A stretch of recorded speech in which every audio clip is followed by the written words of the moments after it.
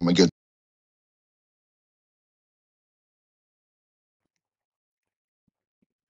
Welcome back to the Sabbath at Midnight. We have a popular guest from our last show, the Nephilim Look Like Clowns, Paul Stobbs from the UK. And tonight we have another really great show. We're going to discuss the Hat Man and maybe get into some other things like jesters and who knows, maybe the Nephilim. And it's always good to have Paul back, brother from across the pond. Amen. Paul, how's it going, man? Good to have you back. Uh, it's going well. Thanks for having me. Awesome, awesome. So yeah, this topic tonight is really, really interesting. Um, uh, from the Hat Man perspective, um, I, I was just wondering. Um, one of one of my first uh, uh, things that come to mind is yourself as a researcher. Did you ever experience this entity?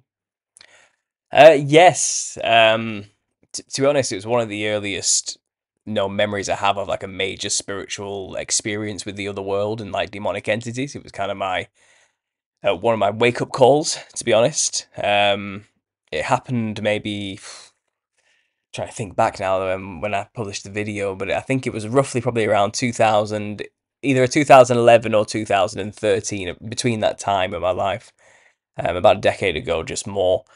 I had this um, this dream um, though it felt like more real than anything I've ever experienced in my entire life, to be honest. But um, I had this bizarre this bizarre encounter with this this thing called the Hat Man. Now, just to preface this, I I had never heard of this thing before.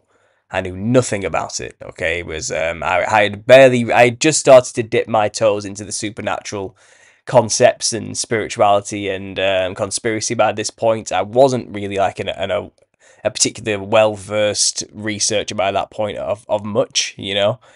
Um, but I, I was I said okay. So let, let's let's that being said that I didn't know anything about really the demonic realm by this point. So when this happened to me, it was really random.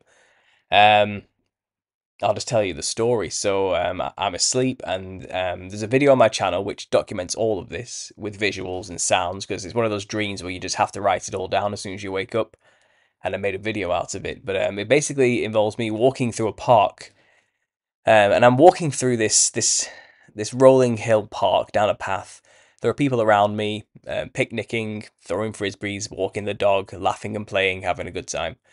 Um, and I, am walking towards this old um, this old big metal Victorian iron, uh, wrought iron gate with these beautiful um, floral iron patterns kind of weaved into it. It's this giant gate and this big uh, brick archway, which the gates were nested between. And then there was like um, hedges on either side of the uh, the gates. They weren't very particularly tall hedges; they were about waist high.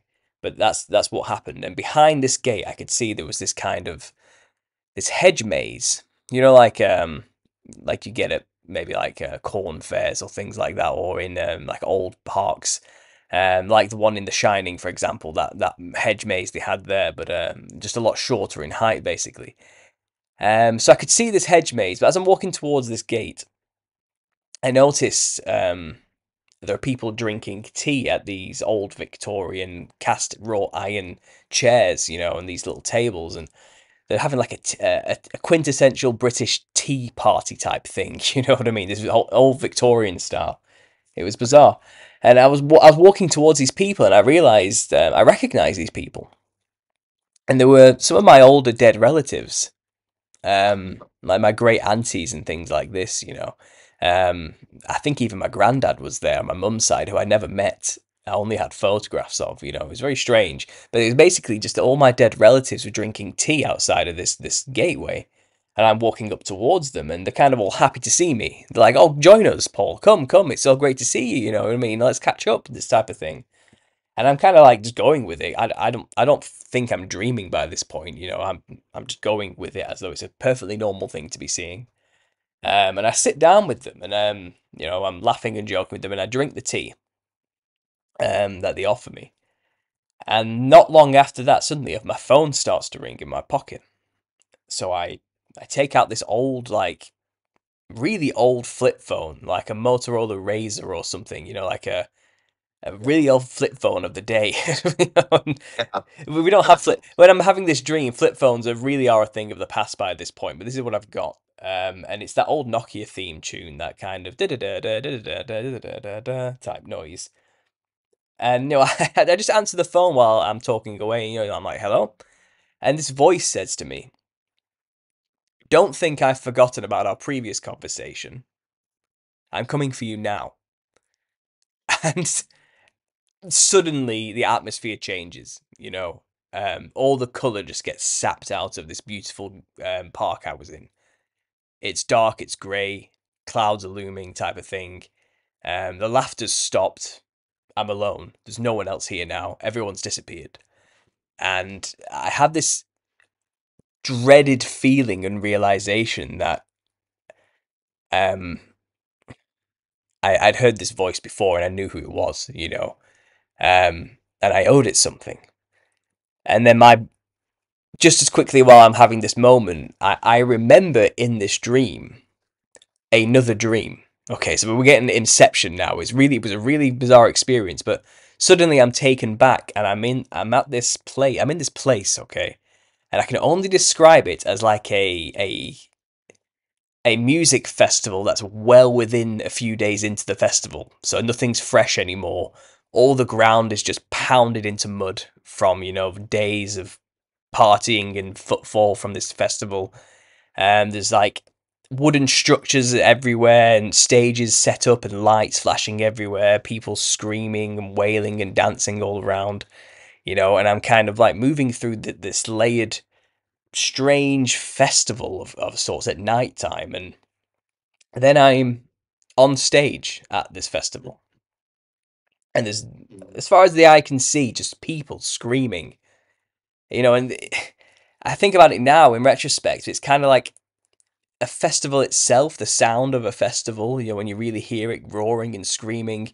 If you closed your eyes i imagine that's probably actually what hell would sound like you know all this screaming and wailing type of thing. So i don't know where i was exactly but i remembered i had this dream months ago where i was at this festival on this stage Okay, and I was on the stage and I don't remember what happened exactly. But then I come back into the other dream where I'm at this garden, where I'm I'm on the phone to this voice, this evil, horrible sounding, sinister voice. And I kind of remember I met this guy at that festival and I owe him something. And I don't know what it is, but I owe this guy something and he's coming now to collect type of thing. I just knew, I just knew in that moment.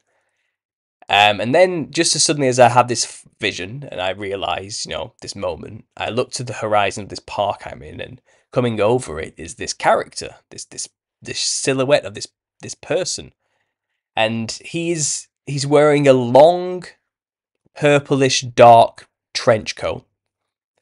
He has multicolored ribbons just flailing off of him in all directions kind of flying behind him and just everywhere. Multicolored ribbons of all shapes and patterns and ragged, straight, neat, shiny, multicolored patterned. Um, kind of like Morris dancers with the maypole ribbons, you know, something like that. Wearing this long purple trench coat, and he had this hat on, this this fedora shaped top hat style thing, wide rimmed, his face was hidden behind the shadows of it, but I could see these glowing eyes, these glowing yellow golden eyes underneath. And he had a cane. And he was kind of just hobbling towards me from this distance, and I could see him. And I knew I do not want this thing to get anywhere near me. So I just turn around and I try to run into the hedge maze. I open, trying to open the gates and get into the maze. Um, but the, it's typical when you know when you're in fear and shock in a dream and you try and run suddenly you can't run anymore and the air feels like jelly and it's thick and like like molasses and you're trying to just push through you know like swim through the air type of thing um, but i do move slowly and i'm getting through this hedge maze and i'm like i'm not going to have any time to figure this out this maze so i just start hopping over the hedges to get to the other side so i'm hopping over these hedge maze it's very waist high hedge maze. You know, it's kind of pointless maze to be honest. Um, and I get to the side, and so there's a similar archway metal gate at the opposite side, you know, and I can see the civilization through it, like a city of some kind, you know, like. So I'm trying to get to it basically, so I can get away. And I do, I get through to the other side. I'm not looking back, but I know he's there. I feel it, you know, I feel this eyes piercing into the back of my body type of feeling. Um, and I get through to the side, and I'm on a city road, and I look up and the skyscrapers in front of me, you know what I mean? Um, and I run specifically to the right, and I just go, I just go as far as I can, and then before I know it, the road in front of me, the whole world in front of me just peels away, and I'm kind of stood at the edge of a crumbled world. You know, there's the road has stopped. There's metal pipes sticking out that drop beneath me. You know where the pipes would have been, type of thing. Just gone. It's removed, and there's kind of like a hanging metal sign hanging over to the left of me from the buildings that were there originally. You know, that are now just torn away.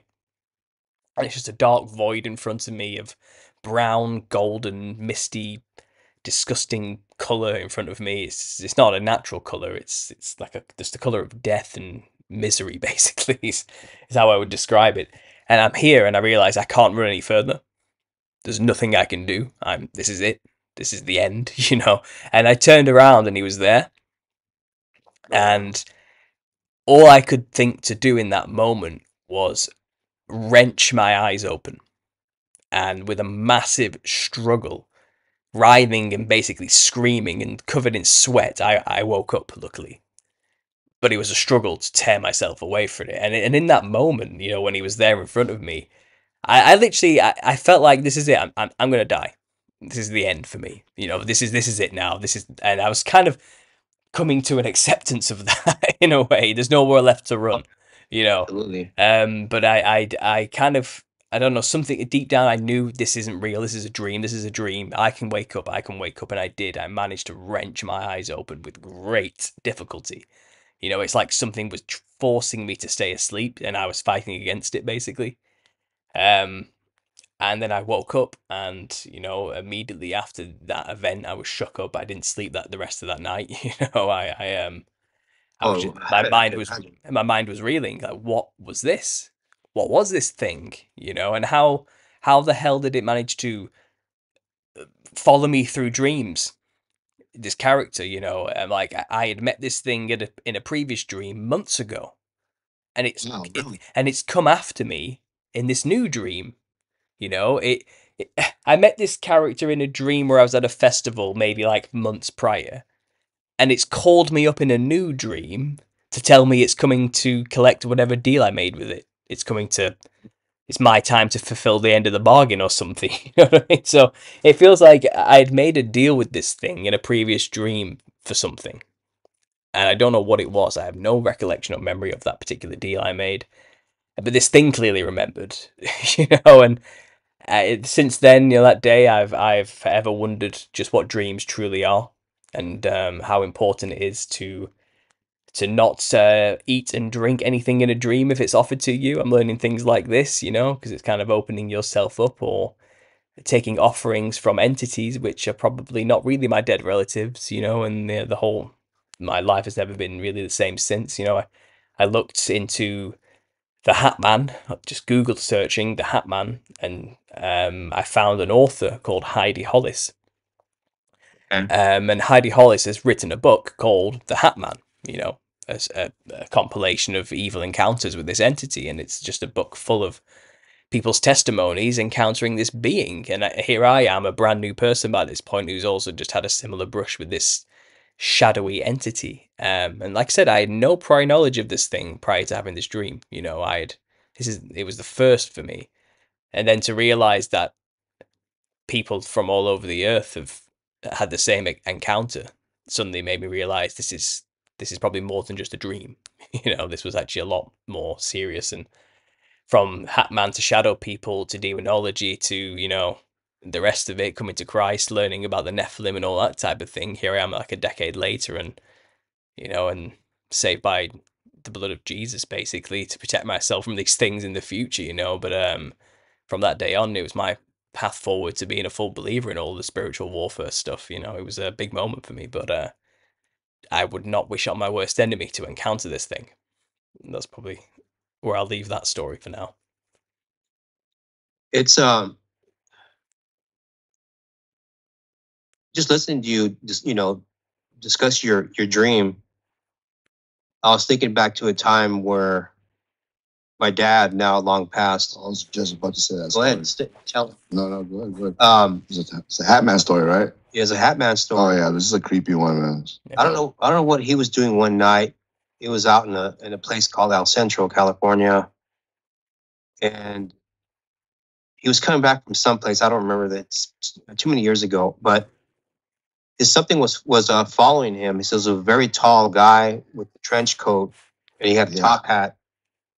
And my dad started yelling at him. I think he started throwing rocks at him, and he's, my dad started running and he says that this thing started running and he says inside the cloak inside the trench it was all red But but he didn't reveal that until the end, like a like a bat. He opened it up. yeah it's it really creepy It's really creepy and and my my uncle years years later had the same experience out in the, in a city called indio california and he was uh i guess he, he got home and the story is that he told my, my grandmother what had happened and they gave him sugar water back then you know for for shock Hmm. but he described basically the same thing you know a long trench coat with the top hat and inside the trench coat or the cloak it was, all red Well, let's not forget that it also didn't have a face. There was no face there. Like when when my grandfather explained the story to me, there was no face. It was just a black figure, no eyes, no nose, no nothing. so wait. What uh, you know I, I don't know. What causes people to have these dreams or experience a hat man i mean I, I i've seen you know shadow shadow people and i was reading a, an article by um let's see her name is there's an article in psychology today um it says that um, some people may consider the Hat Man to be, you know, obviously a, a form of a shadow person. And in this article, Psychology Today, uh, paranormal expert Rosemary Ellen Guiley, she says the, the shadow people could potentially wear hats and cowls to cover up imperfect heads, like maybe something, um, I don't know, elongated head or something that people would call extraterrestrial. Hmm. So it's it- there's a lot of you know different things about this. You know the the sleep paralysis phenomenon. Yeah. Um, people experience the the Hat Man. Um, so the list goes on and on and on. Sure. And, um, I could give you a, I give you like a rundown of what I've basically discovered over the years to try and and then see if you guys have any counter information to it. To be honest, because like I said, the interpretations of just exactly what we're dealing with here vary dramatically.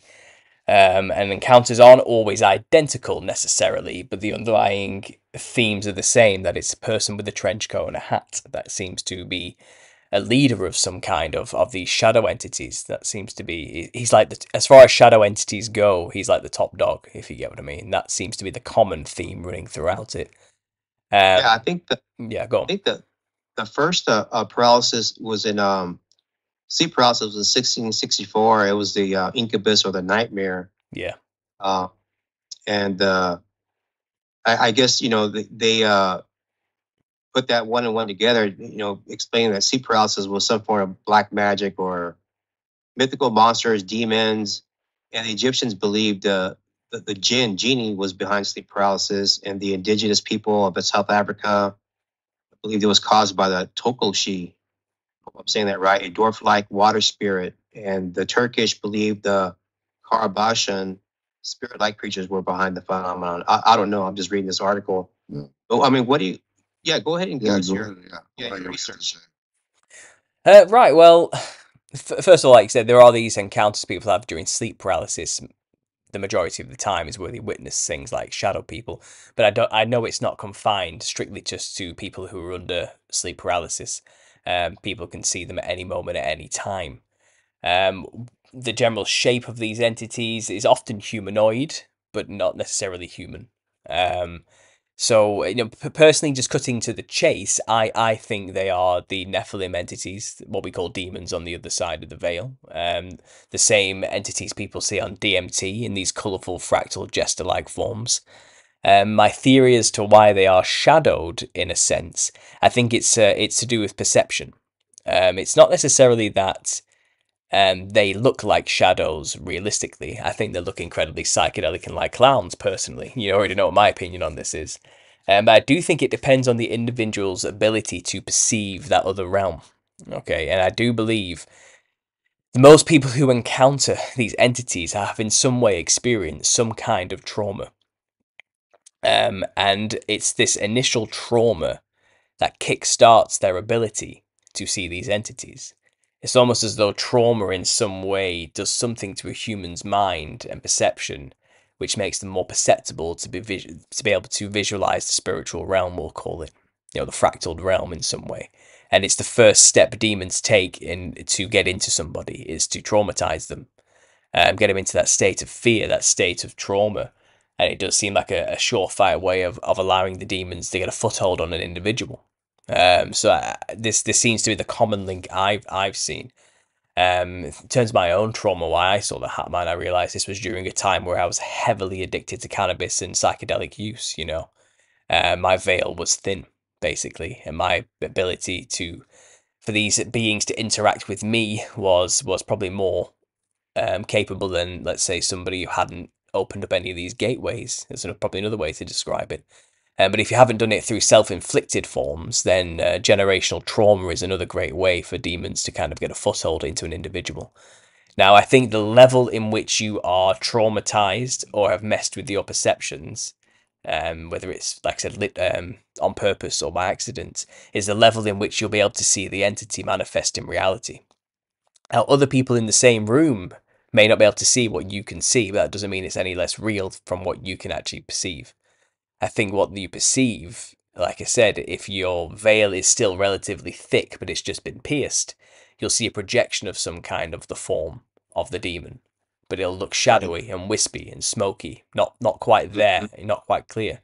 And I do think the more you get traumatized or the more you, you weaken your veil by accident or on purpose, the stronger that vision will become and the less shadowy they'll become and a lot more psychedelic they'll become, a lot more colourful, a lot more like the true serpentine like, multicolored patterned, jester like, wide grinned form. Um, I just like I said, I think the shadow entities are like the first initial precursor to the to the ultimate form. Um, it's it's just what you can vaguely perceive in the moment, but um, the more they can rattle you, uh, Right. I think the the clearer they'll become. It seems to be the way. Like I said, um, it wasn't a shadow entity for me. He was in full color when he came to me, and that's hardly surprising because for me, I I'd already been to the DMT realm a few times, and I've been taking acid every other weekend, you know, and taking mushrooms and the rest of it. I was on MDMA every weekend, you know. I was wide open. You're pulling, you're pulling a Johnny Depp there, man. It, well, yeah, that, that was my life at the time. You know, I was a typical stereotypical art student in university, so I, it's hardly surprising, you know. Um, but uh, that's what I think it is. But I think you know people who have never even like considered spiritual stuff and just pretty, you know, the average Joe who does a nine to five and doesn't has a family, doesn't really partake in anything wild. You know, they they tend to, like I said, see shadow people. Um, maybe maybe they've had a bad experience or something terrible's happened, maybe the death of a family member or something, and it's just kind of jump starts their ability to start having these entities mess with them, if you get what I mean. Um, and Mhm. like I said, they, they tend to encounter shadow people, is what I've noticed. That's just my own observations. Um, now, in terms of the hierarchy of what these things are, like I said, I do believe the demonic realm has a hierarchy, just like um, we do, you know, just like a military does. They have generals, lieutenants, and grunts at the bottom, and you know, and they have uh, majors and, leaders. And I think the Hat Man is a high-ranking entity, a very high-ranking entity. Is it the devil? No, I don't think so. I think there are many Hat Men, um, and I also understand, as we'll get into later, and we'll expand upon, um, shamans who um, commune with the spirit realm regularly and channel entities. You'll find that a common motif for a lot of them is a hat and in particular a tall, wide-brimmed hat. Um, Right. and I do think, you know, as ancestor worship worshippers understand, you dress like the thing to channel the thing. Um, so you know, you go, and if you want power, you go to the top. you know, you don't ask the lowly the lowly demons. Uh, you go you go talk to the boss type of thing. Uh, so again, uh, that's my initial interpretation of why shadows. Um, what's your what do you think of that? You know, what's your opinion? I think shadows are definitely um, disembodied spirits of, of you know more than likely the the Nephilim. The Nephilim for me are all shapes and forms. And maybe there's obviously there were giants and probably some other chimera type of creatures that didn't have the spirit of God breathed into them. It was just another spirit. Mm-hmm. Uh, and uh, yeah, I'm along those lines. I, I think these um, these entities are able to come into our reality. How they do it, I, that's still a question. I, I don't think anyone really knows that answer. But it seems they're able to, like you mentioned, you know, some some of them are formed of a mist. Some become solid. Like, for example, what my dad saw, my uncle saw. They seem solid and they seem, you know, not misty, not imperfect, not you know like a, a, smoke cloud coming at you. I mean, these things were, you can see it. I mean, you couldn't see the face, but you can see the outline of the body. Wasn't all just it distorted. It was, you know, a perfect figure, like a man coming at you.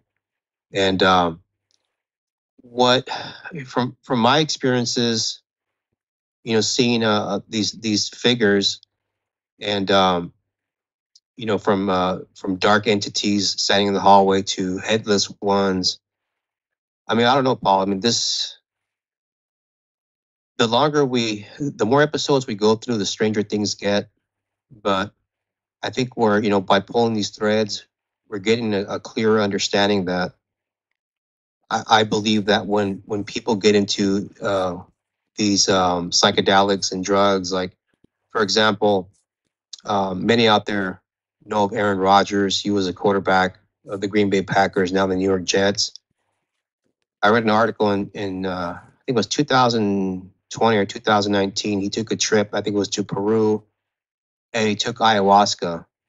Hmm. And uh, and I, I believe his the article says his girlfriend was some kind of witch. And um, since that time, uh, he's been experiencing seeing the the Hat Man with the dead rabbit in his hand, or a blade, hmm. or something, along know, almost dead like, rabbit. Yeah. So I mean, I don't know what the what the ramifications are with the imagery of a of a blade in the hand or a dead rabbit. It sounds like the magicians, how they pull the rabbits out of the top hat. That sounds like a magician type of yeah. thing. There is, there is, and like I said, I can exp- I'll expand on this as we go on. Um, I've got a lot of a lot of stuff to do with the clowns to link to all the, this Hatman character. And yeah, I was actually literally just thinking about magicians myself an hour ago. Yeah. Um, yeah. I was just like dead rabbit, the you know the hat, like it sounds like magician stuff to me. Oh, absolutely. Uh, well, uh, um, as I was saying, you know, there are examples in movies people like me to reference, like popular culture, where there, there are these entities that manifest more and more as the film progresses, as the the individual or the protagonist gets more and more scared. That seems to be the general theme um, that runs through it, and it's um, let me see. I, wrote it down. I wrote it down in my book here as an example. Um, yeah, so the Mind Flayer from Stranger Things is a good example. That's a wispy, smoky entity in the upside down, like a spider-like, tornado-looking smoke monster. Um, and it obviously it preys on that it. Well, it gets more powerful and the ability to come into this world through mystical um, forms, but it, it, it, it preys on the, the fear of people. You know, um, to get to pierce its way into our realm. Um, Pennywise the Clown from Stephen King's It is a quintessential fear feeding ghoul. You know, um, it can manifest more and more physically into someone's life, um, the more scared it can get its victim. That's basically how it works. So its its role is to become the victim's worst fear. Um, the more fear it has, the more powerful it becomes, the, the more ability it has to manifest into the physical world, therefore get gaining the ability to physically eat children. That's kind of its end goal. But its game is fear first to gain the power. Um, Freddy Krueger's another great example. Nightmare on Elm Street. You know, it feeds on the fear of people in, within their dreams, and Freddy Krueger is actually a hat man. He wears his own fedora hat, um, and he is a dream feeder of fear. You know, um, his key role is to generate fear. Um, it's it's a common theme. It's a trope in movies, you know, and obviously I think it's uh, a case of art mimicking life and reality. Um, they know what they're talking about. The people that made these films. Um, uh, know, in terms of shadow entities, you know, we have um, a Dementor from Harry Potter. And when someone encounters a Dementor, it's literally they literally have their soul sucked from their body, and they're usually paralyzed with fear. Um, they have the Nazguls of Tolkien's Lord of the Ring universe, the black cloaked, shadowy figures, you know, who are chasing the hobbits at the beginning, and they ride uh, dragons. Funnily enough, um, so a link there to the Serpentine uh, bloodline, you know, and where these the origins of these things come from. Um, yeah, so it's referenced quite a lot in media. Um, so I'll say that about the shadow people and the entities alone. But I do settle myself on, you know, the only things in this realm are the many forms of ex-humans who turn themselves into corrupted beings and the Nephilim themselves. Um, and they came in all shapes and sizes. You know, think of fairy folk, gnomes, elves, trolls, goblins, centaurs, um, I don't know, phoenixes, all the corrupted animals as well, all the messed up creatures, you know, and not just giants. It's not just simply just giants, and um, they all kind of ended up very psychedelic and strange in form and nature. I mean, another famous one is the old hag from the past. That's like some uh, some demented hobbit-like dwarf woman um, with elvish ears and you know crooked bony fingers who kind of sits on the chest of its victims and stops them from being able to breathe and keeps them paralyzed during sleep. You know, um, and I think that the end the only way a demon can physically interact with our realm currently is to first generate fear. The more fear it can generate in its individual target, the stronger it can seem to manifest. It's a huge process because, um, like, they don't have physical bodies anymore, but what they can do is manifest enough to physically affect an individual by making them scared. Um, and I don't know to what extent that can make them manifest into reality, like the movies do. I don't know if that's just for the movies only or if it's reality, but I've heard stories of people having physical issues from it, you know, being physically attacked by monsters in the physical world. Um, so yeah, I don't, I don't know. It's, it's, it's a tough one.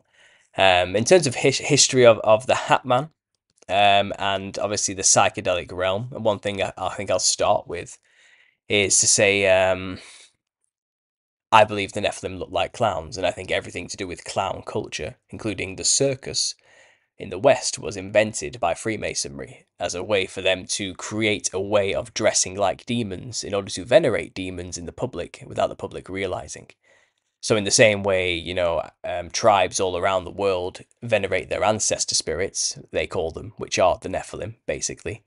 Uh, they, dre- they dress like them in their rituals, you know, to channel them and to venerate them and to um, bring them into the physical world through their bodies, basically. And now they all dress like something like a clown, like a psychedelic, colourful monster.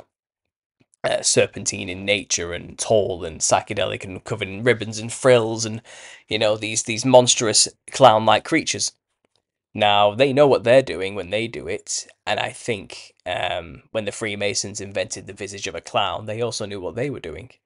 You know, and the circus itself is is embedded with uh, fractaled realm symbology. So circuses, which were as we first knew them, were actually um, equestrian horse shows in Britain. There were there was a ring which someone would ride a horse around in a circle and do backflips off of horses and jump from one horse to another and ride two horses at once while stood on you know what I mean? Just do tricks on horses and that's that's the proto circus.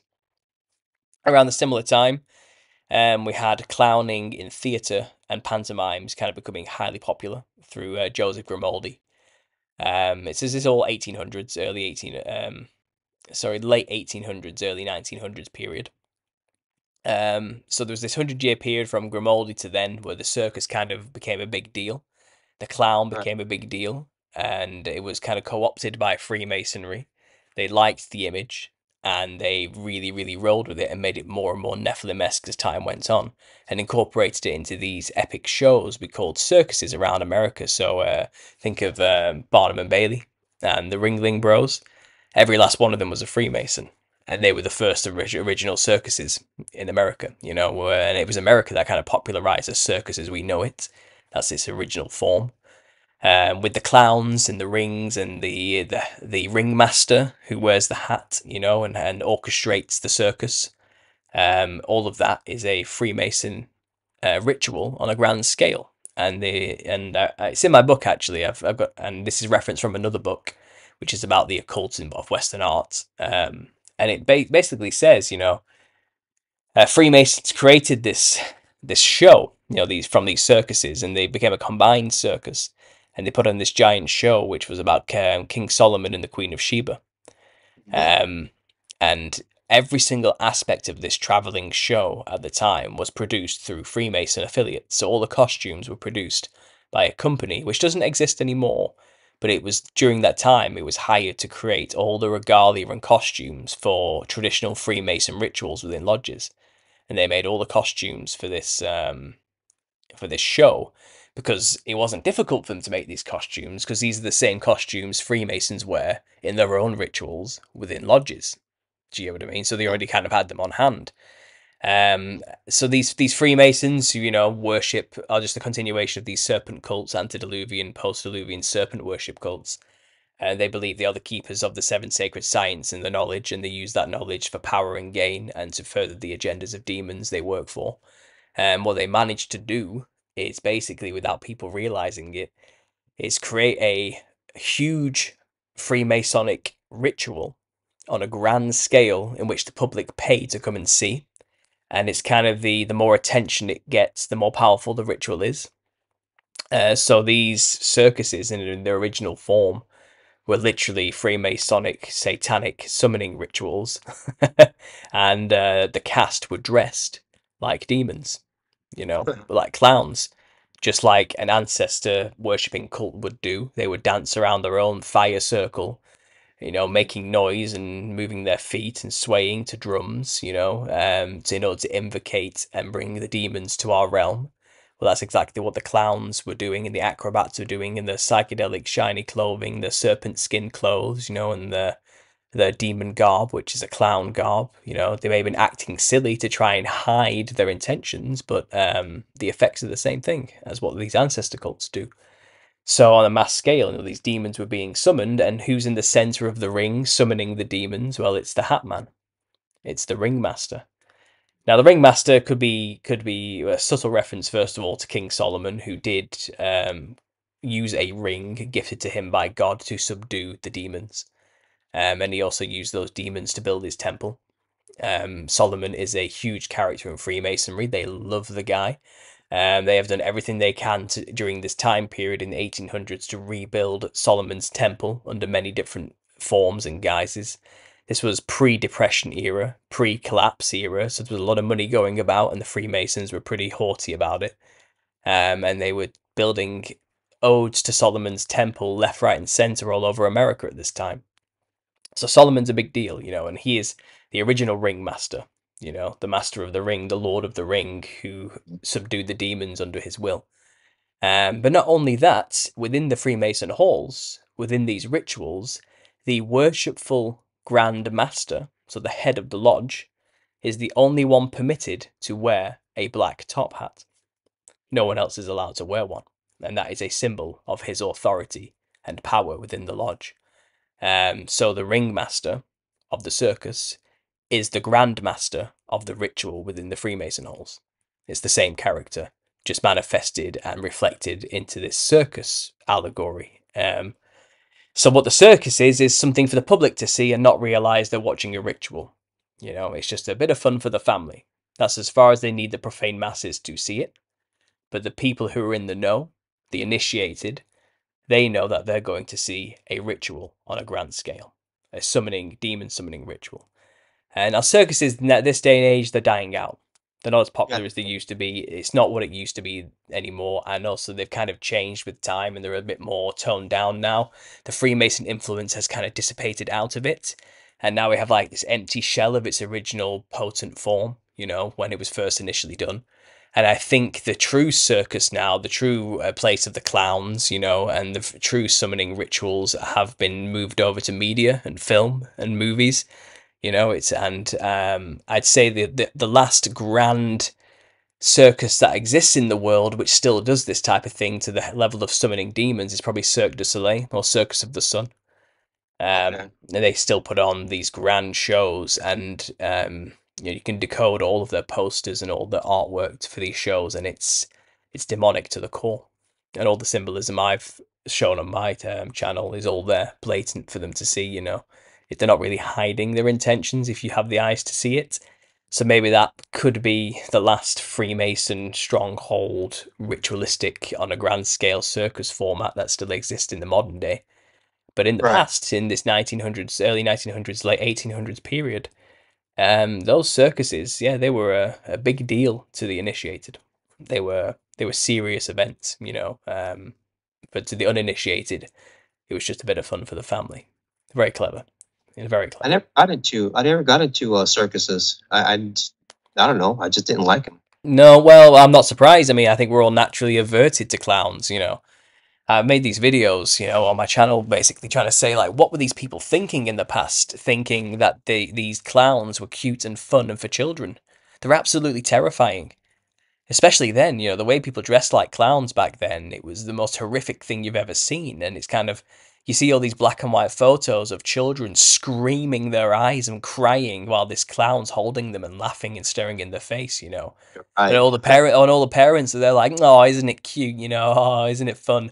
And it's kind of like, no, it's not fun. That child is having a severe panic attack and a traumatic experience. But it's like the people at the time were just utterly unaware of the psychological impact they were having on these children. You know, they just, just, I don't know if they were naive, evil, or just stupid. I don't know which one it was, but it was, it's just silly, you know, uh, and yeah. So, so in terms of the Hat Man, we're talking about the Hat Man here today he plays a key role within the, the circus ritual and it has direct links and ties to Freemasonry at its core. Um, and if the Freemasons, you know, work with the demons, it can hardly be surprising that the highest ranking uh, person within the lodge would be the Hat Man. Basically, a representation of a high ranking demon in the spiritual realm. So they mirror it, you know, and like I said, they just like ancestor worship cults do, the Freemasons in their own rituals dress like the thing to uh, evoke the thing and be possessed by the thing. So this Hatman character is is a is a big player, like I was saying earlier. Mhm. Definitely a big player. There's always a hat man in uh in circuses too. Go ahead. Yeah, that kind of reminds me of that uh, cult leader, um, Aleister Crowley. He's uh, yeah, often many pictures with him wearing a hat, that top hat, all the time. absolutely. Yeah, I mean we talked about magicians earlier as well. Magicians basically dress like a grandmaster of Freemasonry. That's the that's the stereotypical magician's garb. You know, the waistcoat, the black uh, suit with the tail with the um the tails at the back, the black top hat. You know, and like I said, they they're magicians. You know, the stereotype magician with the black and white wand, with the top hat pulling rabbits out of the hat. You know, and making flowers appear from the sleeves and the endless tissues and stuff, which are kind of circus clownish acts to to begin with. You know. Um, but it's kind of like a tongue-in-cheek reference to that Freemasons are basically wizards. That's what they are. They're dark warlocks. You know, that's what they believe themselves to be. They believe that they have occult knowledge and power. You know, they they are spellcasters. You know, and um, they they are occultists. They work with the occult. They are quintessentially magicians. You know, and that's what that's why the stereotypical magician's garb is basically a Grand Master of Freemasonry. It's the same costume, but it's kind of just again dumbed down for the kids. You know what I mean? It's uh, occulted for the masses to not realize that that's what's going on. Uh, but that's the stereotype costume of your average magician in the past. You know, it's the, it's the one they put on the box of your magician's kit for kids. You know, it's, that's the image they put down, the caricature of a magician. But yeah, it's just basically just a worshipful master of Freemasonry. It's uh, yeah, it's it's it's it's kind of it's in your face once you know. That's what I'd say. Absolutely. The hat man has been seen, like you're saying, all across the world. Yes. People see this entity and, and I wonder I wonder if they're associated with uh with uh UFO sightings. I, I I I'm trying to remember if I read some stories about that or not. Uh, not too sure. I've not heard anything about UFO sightings my myself. Um, no, I mean the, the only aspects I've looked into about I- I'm not saying that it hasn't happened. By the way, uh, I believe they're all dealing with the same entities, whether it's aliens, demons, or whatever. You know, or shadow people. It, it all comes under the same umbrella f- for me. Um, you know, I come at it from a tautological perspective, an all-encompassing tautology. You know, um, I'm kind of done trying to give it different names for the same thing. Um, I do believe it all comes under the same umbrella. So it wouldn't surprise me if within alien abduction stories, some kind of Hatman like entity would appear. It really wouldn't surprise me at all. Yeah, they're always um they're different shapes and different sizes. Some say they're six foot tall, some say they take up the space of the room, you know, as far as height goes, you know, eight foot, ten foot.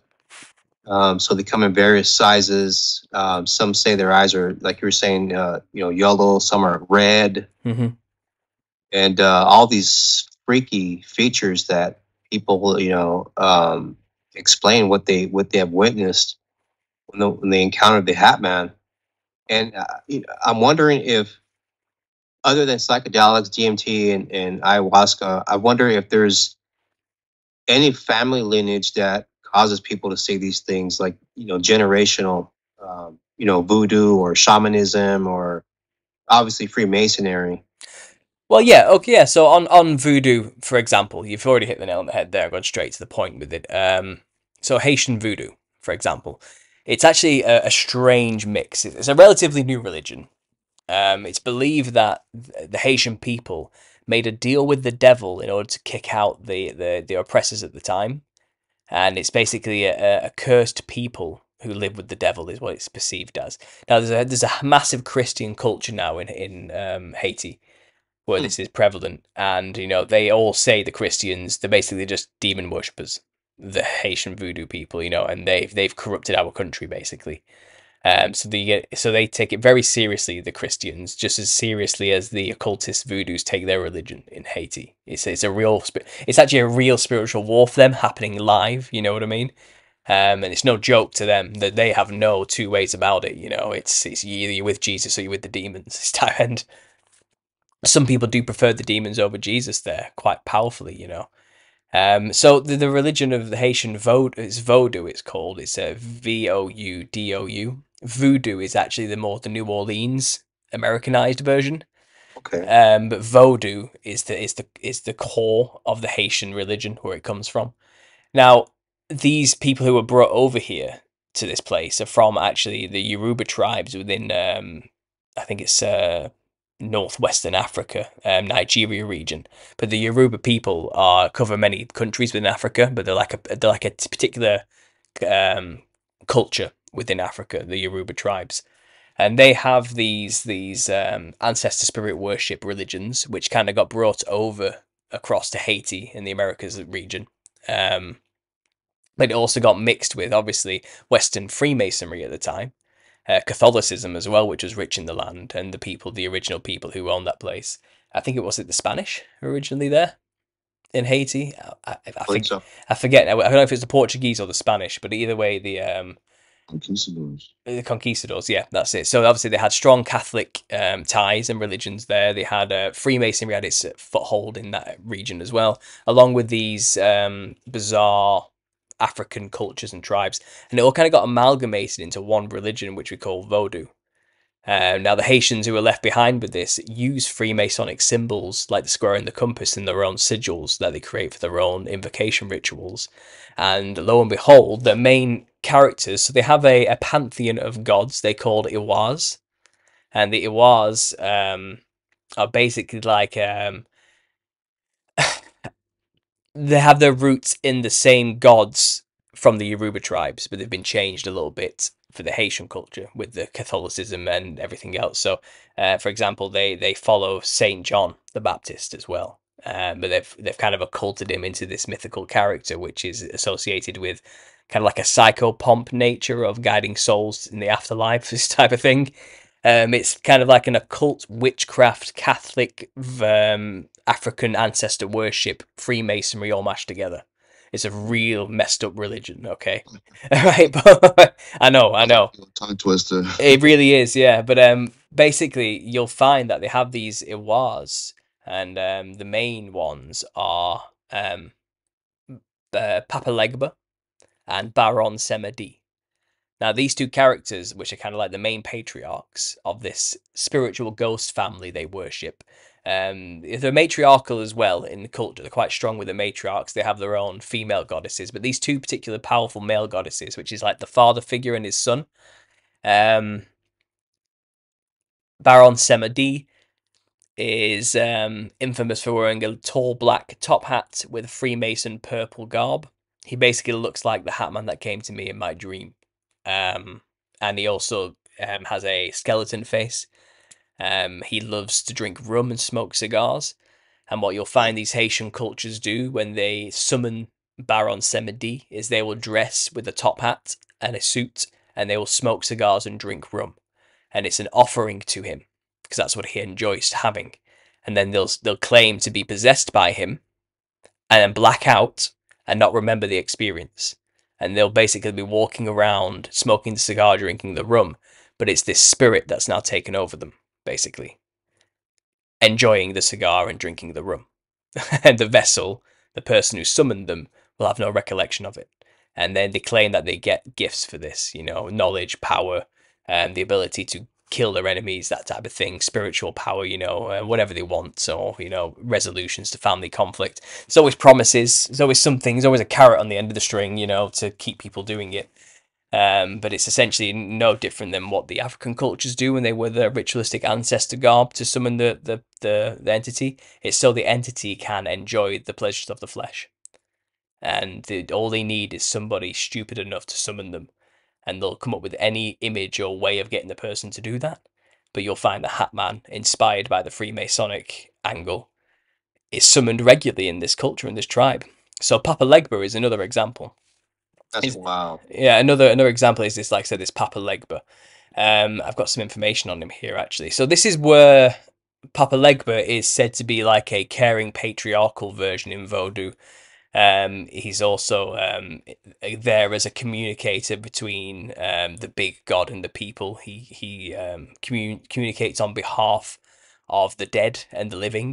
Do you get what I mean? He's like a, a messenger of some kind, and this is based on Eshu, or Elegba or Legba, which is in the Yoruba tribe's original African culture. So um, I've got a passage here online. So Legba is a trickster god of the Yoruba people of Nigeria and West Africa. He is unpredictable, sly, fond of pranks, and can be cruel and disruptive. Eshu or Legba, uh, who knows all the languages spoken on the earth, serves as a messenger between the gods and the people.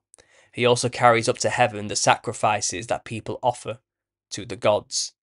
According to one story, Eshu became a messenger after playing a trick on the high god. He stole potatoes or yams from the god's garden, used the god's slippers to make footprints there, and then suggested that the god had stolen the yams himself. Annoyed, the high god ordered Eshu to visit the sky every night and tell him what happened on earth during the day. So he's a mischievous trickster figure, and he appears in many forms. He's a shapeshifter, um, and he and he appears obviously across many different people all across Africa. Um, and that's basically him. He enjoys confusion. Many stories tell of tricks he plays that cause arguments between friends or between husbands and wives. In one myth, he lured the sun and the moon into changing places to upset the cosmic order. He is the god of change, chance, uncertainty. Eshu is sometimes paired with Ifa, a god representing order in the African Yoruba culture. And in one of these tales, it's saying, haha, you can't kill me, because if you kill me, you kill yourself. You can't have chaos without order. It's that type of thing. Um, so they have the whole dualistic black and white angle going on there, which is typical of the Nephilim religions when they existed. This sounds to me like this trickster god is a lesser Nephilim. The Nephilim were known to be basically people who communicated with the pantheons or the fallen angels on earth. They were the earthly foot soldiers of the heavenly watchers. Um, and this Eshu character, or Papa Legba, which has been incorporated into modern um, Vodou, Haitian Vodou, as well as this um, original African tribe, he sounds to me like he is a messenger between the gods and the people. So he is a bit above humans, but a little bit below the gods, small g. So that's basically the Nephilim, which are a little bit more than human, but below the angels who created them. It's the same thing, um, just with a different name, a different style. And um, actually, if you look and just type in Eshu into Google, um, I have some pictures here, but um, you can find these wooden carvings of this character, and he has a really long skull in all of them. And big wide eyes and long serpent-like features on the face, and they always um, depict him having an incredibly elongated skull. So this uh, Papa Legba, which has its roots all the way back to Africa, you know, is basically a Nephilim, and those who dress it with like him. And he dresses very similar to Baron Samedi, as I mentioned earlier, the top hat wearing, suit wearing, cigar smoking, rum drinking skeleton man. He that's also how Papa Legba looks, very similar. So you dress like this Hatman character, you are channeling this ancient African Nephilim god of some kind who was just like his their their father. He's a trickster. He's just he's a liar. You know, he's he's um irreverent, just like their parents, the fallen angels, the rebellious angels. You know, um yeah. So that's that's the Vodou um angle of the Hatman, and as you can see, it has its roots all the way into ancestor worship of the Nephilim. It's no Yeah, different. His images on, on Google and It's grotesque. It's an alien. Yeah. Like Yeah. one They try and make out that these are just people, you know what I mean? Um, these are just ancient humans who existed that got so, so great in stature. We made we made carvings of them, but you look at them, it's like that's not a human. a lot, a lot of these uh, images though, it has like four long like spaghetti arms or like tentacles. oh yeah, what is that? Like I have no idea. But these things came in many shapes and forms, you know, and they were mixed with other animals. And you know, during that time when the Nephilim were around, there was the mixing of kinds. You know, there was the mixing of animals with other animals, with humans with animals, all sorts of things going on. All flesh was becoming corrupt, you know. Um, all taught how to be done by the fallen angels, you know, and and these Nephilim, their children, and the potentates on the earth. Um, so I wouldn't surprise me that these things just look wild in visage. You know, they're, they're not human, and serpent-like features would have manifested on the Nephilim. Absolutely, inherited from the seraphim serpent-like parents. Um, so you just, just see these old wooden carving depictions of this partic- this one particular god in Africa, and you'll see, yeah, it's just just another Nephilim, just just another serpent man of some kind. Uh, yeah. um, those things are really nasty. I was reading a, a blog. Uh, it's, it's a North Atlantic blog on WordPress. says uh, just a little snippet. This is when Hatman does appear, the witness is usually sleeping in the early morning hours, although users of the Ouija board have also described encountering the Hatman as well as alleged victims of alien abductions. Oh, interesting. So that's, I mean, if these things are associated with with alien abductions, uh, you know what? I just think that, and this is just a hypothesis. I think these shadow people, these hat men, I think they're they're. The way I see it is, some of these some of these biologics, these these entities people say alien, they want to call them aliens. I think they're just host bodies that were created, and I think these Nephilim spirits indwelt them and I think these shadow people maybe leave that body and come and, and you know harass people or somehow they take a form of a hat man or, or you know once again a shadow person and somehow some way they're able to I don't think it's maybe physically they're taken to a craft or maybe their their spirit is pulled out of them and taken to the craft. I don't know about that because I'm just kind of 50-50 on that because some people do exhibit implants and they have scars so that's my take, and I, I think that the Nephilim spirits indwelt some of these biologic, they're in the insectoids or hmm the so-called elder race brothers, um, or these other entities. I, I think they're all indwelt spirits with the with the Nephilim. I think some of these these bodies are just they just you know, for me, in my opinion, I think these bodies are created. These so-called extraterrestrials that are probably terrestrial. They probably always have been here on the earth. They're just in another another reality of our earth. That's the way I say. I don't think they they're planetary species. I'm leaning towards they're terrestrial. They've always been here. hmm I've heard that theory a lot lately in, in the Telegram group and from people who leave me comments about it. It's it seems to the, the most popular train of thought is that these greys, these these alien greys or whatever they are, whatever the form they come in, are just some kind of genetically engineered vessel of some kind, Mhm. like a like a sexless androgynous vessel that can't reproduce. You know, um, so. yeah, and they're just basically there for the spirits to inhabit, and it's a perfect place for them to be where the Holy Spirit can't dwell and kick them out, you know. Uh, maybe maybe there's a limited supply of these vessels though, so they have to kind of share, and uh, Yeah, it, it probably there's all sorts I could speculate about that idea, you know, and it does seem likely there's something like that going on. Because uh, you know, people who have alien abduction stories, they, they claim they had a very physical experience. You know, it wasn't they weren't just dreaming; they were being touched and felt by these things, you know, and moved around. And it wasn't just simply a, you know, maybe it was just a dream or I was just seeing things type of situation. You know, um, I think I've heard someone theorizing as well that these vessels do feed by rubbing adrenochrome fueled cow's blood onto them or something like that, which explains why they have all these mutilated cows from these abduction stories because they were mutilated to put them through pain to create the adrenochrome.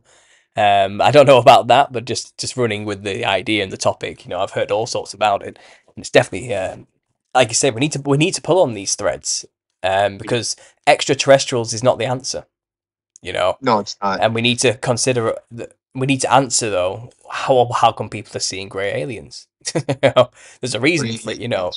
We do have to answer that question, have a have a sufficient answer for them if it's demons, you know, and if they are a physical thing really flying around in some kind of craft, then we need to consider that you know maybe they are a created being, but not necessarily um, the spirit that's within them mm-hmm. changes, you know, and depending on what's available.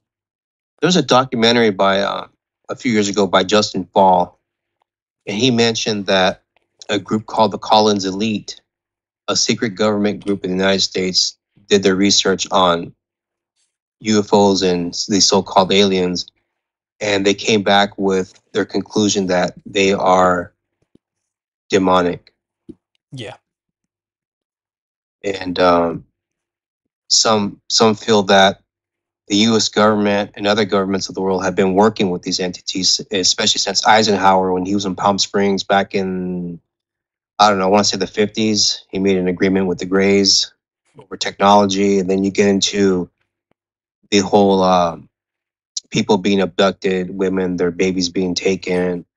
And you get that into, uh, you tie that into um, um, Satanism, where where they actually um, do abortions as a sacrifice to Satan, and they have breeders that sacrifice us. And, you, and the reason why I say that is because you know these these babies are being taken from women by these so-called extraterrestrials. How do we not know they're being sacrificed to to Satan? Mm-hmm.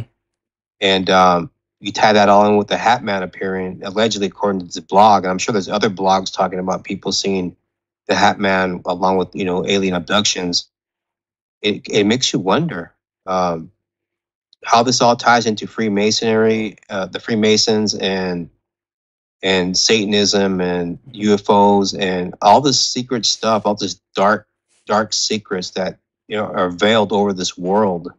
Yeah, that the governments know about it because they have these crash things and and you know I, I heard one story that a guy went into a craft and a military guy and it had strange writing on it and he didn't know what it was. And a scientist told him that's Enochian. He said, What do you mean? You know, he says that's the language of the angels. It's the language of the demons too. Yeah, also language of the demons. So I mean, man, you know, this is I mean, we're getting deeper into a rabbit hole here. You have the Hat Man, you have Satanism, you have the Freemasons. It's just it, it keeps going. All these threads. The more you pull, the longer the thread gets. Yeah. Well, it was interesting. You were saying there about you know um, the abortion angle, where the, when they they kill this baby, it's actually a sacrifice to Satan. They're really doing, you know. And um, I think you were mentioning there, you know, in these alien abduction stories where something similar might be happening, you know, where they're impregnating women, then maybe taking the baby away. There's this Hat Man present. And if you think about the Hat Man, as I said, symbolically in Freemason being the leader or the orchestrator of the ritual, and maybe the Hat Man needs to be present when this sacrifice happens in order to make it official in some way or to channel it in the correct way, I don't know. And then we're considering that the, the lead head shamans within Vodou culture, you know, who have the snake around their neck and they channel Baron Samedi, you know, this Hat Man top hat wearing entity uh, to orchestrate the ritual, the witch doctor ritual type of thing in voodoo culture and Vodou culture. Now, it, let's bear that in mind, and let's consider some other cultures that also have the Hat Man um, as the head shaman. Okay, and the shamans, like I said, are the the anointed leader of the spiritual process in which they channel the entity.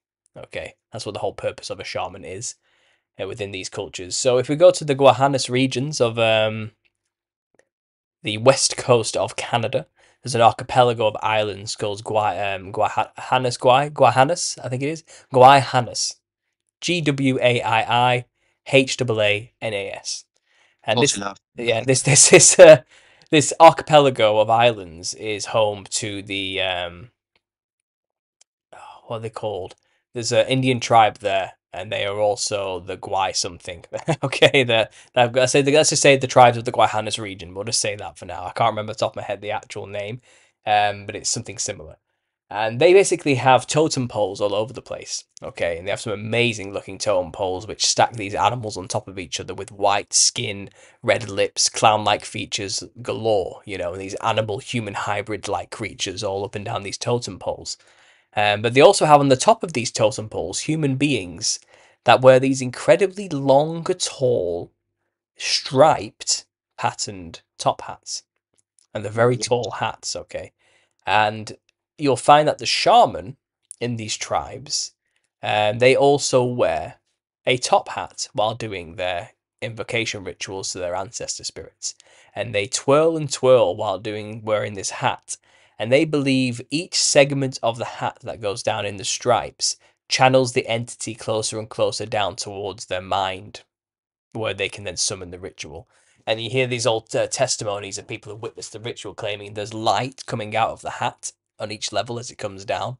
You know, you get these these campfire stories about the true mystical nature of this dance, you know, and um, that's what it seems the hat was used for in that ritual particularly. It was a key tool used to channel an entity into the vessel from the ether, kind of like an antenna in a way. Um, so that that opens up the meaning towards why why a hat at all. You know, consider something like a wizard, a quintessential witch or wizard, and the hat. You know, they always wear this conical shaped, floppy, pointy, wide rimmed hat in some way. And I've heard people speculate that, you know, the cone shape of the hat is to direct the magical energy more directly into the skull or into the brain or into the mind. You know, kind of like an antenna in some way. A, a, a spiritual energy harvester of some kind. You know, so there is there is that one tribe, like I said, in, in um, the Americas, which has a, a very distinct type of top hat, which I thought was interesting and worth bringing up. Um, it's annoying me right now that I can't find the name off the top of my head. I'm going to have to Google it. Give me one second. Uh, Guaihanas uh, tribe. Let's just see what it comes up with. The Haida Gwaii. That's what they're called. okay. The Haida Gwaii people. So type in Haida Gwaii shaman um, and it should just come up. Haida Gwaii. But the sad thing is, they're, they're, they're dying out as a people. There's not many left of them now. They're getting quite westernized. Um, so I think what we would see this day and age, any images, Yeah, McDonald's. yeah, what we'd see this day and age are a lot more um, watered down from the original culture. Um, but yeah, if unfortunately nothing's coming up for for Shaman. Let me have a look. I know they have some very old photos of the original people who visited them, um, and they look like they're just wearing shawls right now. But um, there's one I can see one here on a sculpted boat wearing the top hat that I was mentioning. Um, so you can find examples of it. Uh, but the main examples of just how tall these hats actually were on the totem poles themselves. They've carved it within their artwork to memorialize these these ancient shamans type of thing. Um, and yeah, they're very weird looking things. So there's there's that example. But then if let's say we go to the other side of the world, let's go all the way to Korea now. Okay, so we've crossed the Pacific and we're now in Korea. Okay, different culture, different history, different land, different peoples, different language, different everything. Okay, not the same peoples.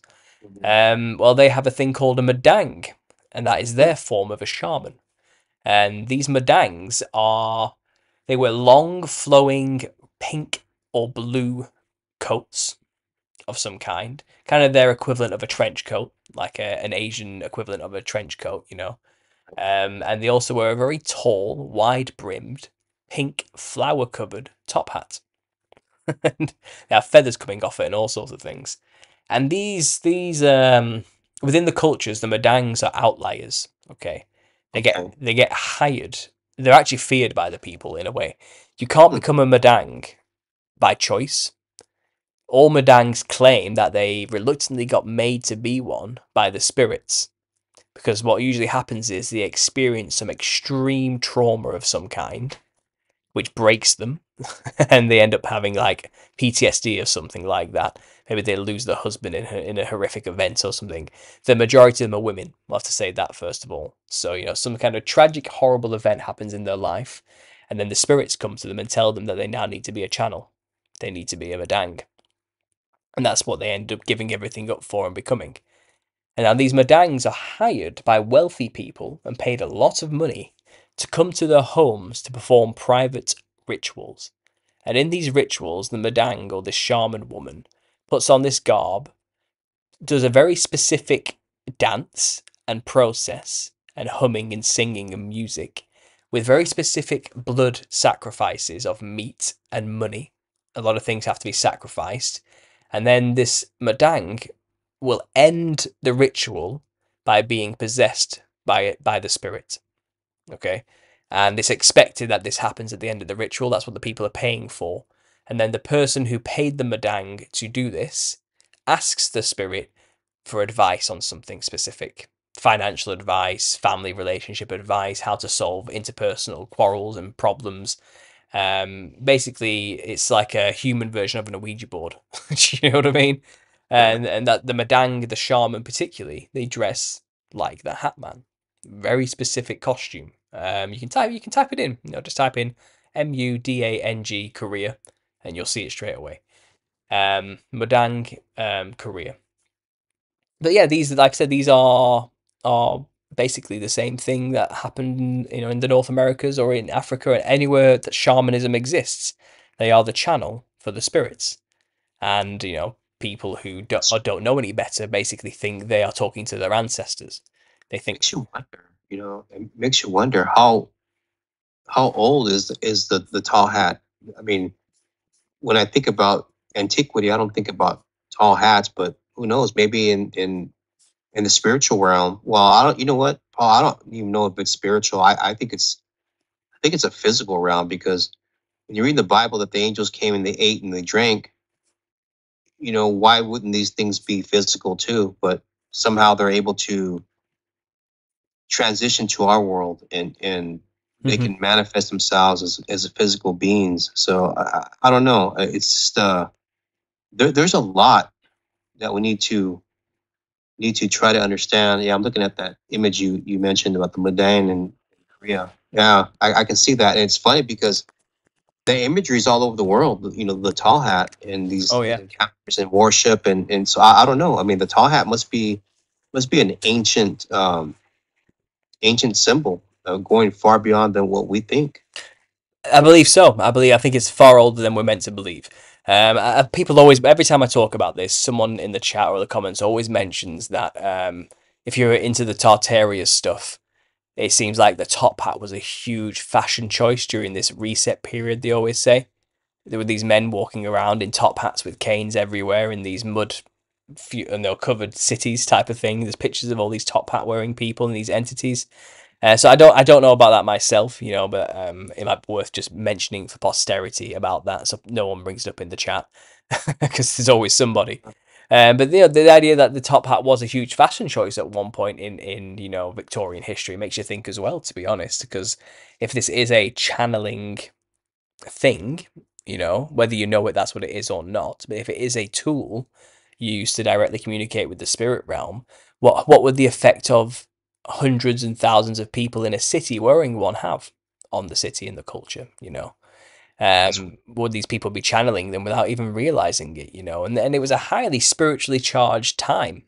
You know, it's when things like seances were really popular, you know, and consorting with mystics and crystal balls and scrying mirrors and all that sort of thing was happening around the same time, you know. So just it's, it's like, like I said, wearing the costume of a clown. You might think you're having a bit of fun, but what you're really doing is put, putting on the skin of a Nephilim, you know, and you're allowing the spirits in, whether you're aware of it or not. That's what's happening. Um, so that, you know, all these people wearing top hats. What kind of effect did it have at, at the time? Just yeah. Sorry, go go ahead. I'm just speculating.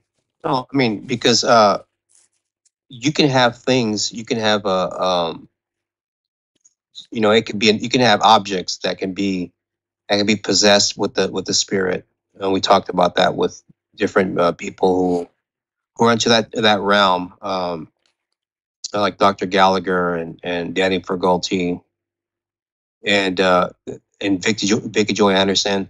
They they speak about how how certain objects that you hold can can be infused with evil. If it's like a a book on necromancy or you know anything that's talking about evil stuff, you know, or an or a a sculpture of a of an owl or or something, you know, uh, Kokopelli or something, something that you know that represents the fallen world, that it can be indwelt with with the spirit, it can be charged. So maybe you're right. You know, these hats are like antennas. Maybe these these these objects, these hats, are in indwelt with the spirit that can communicate.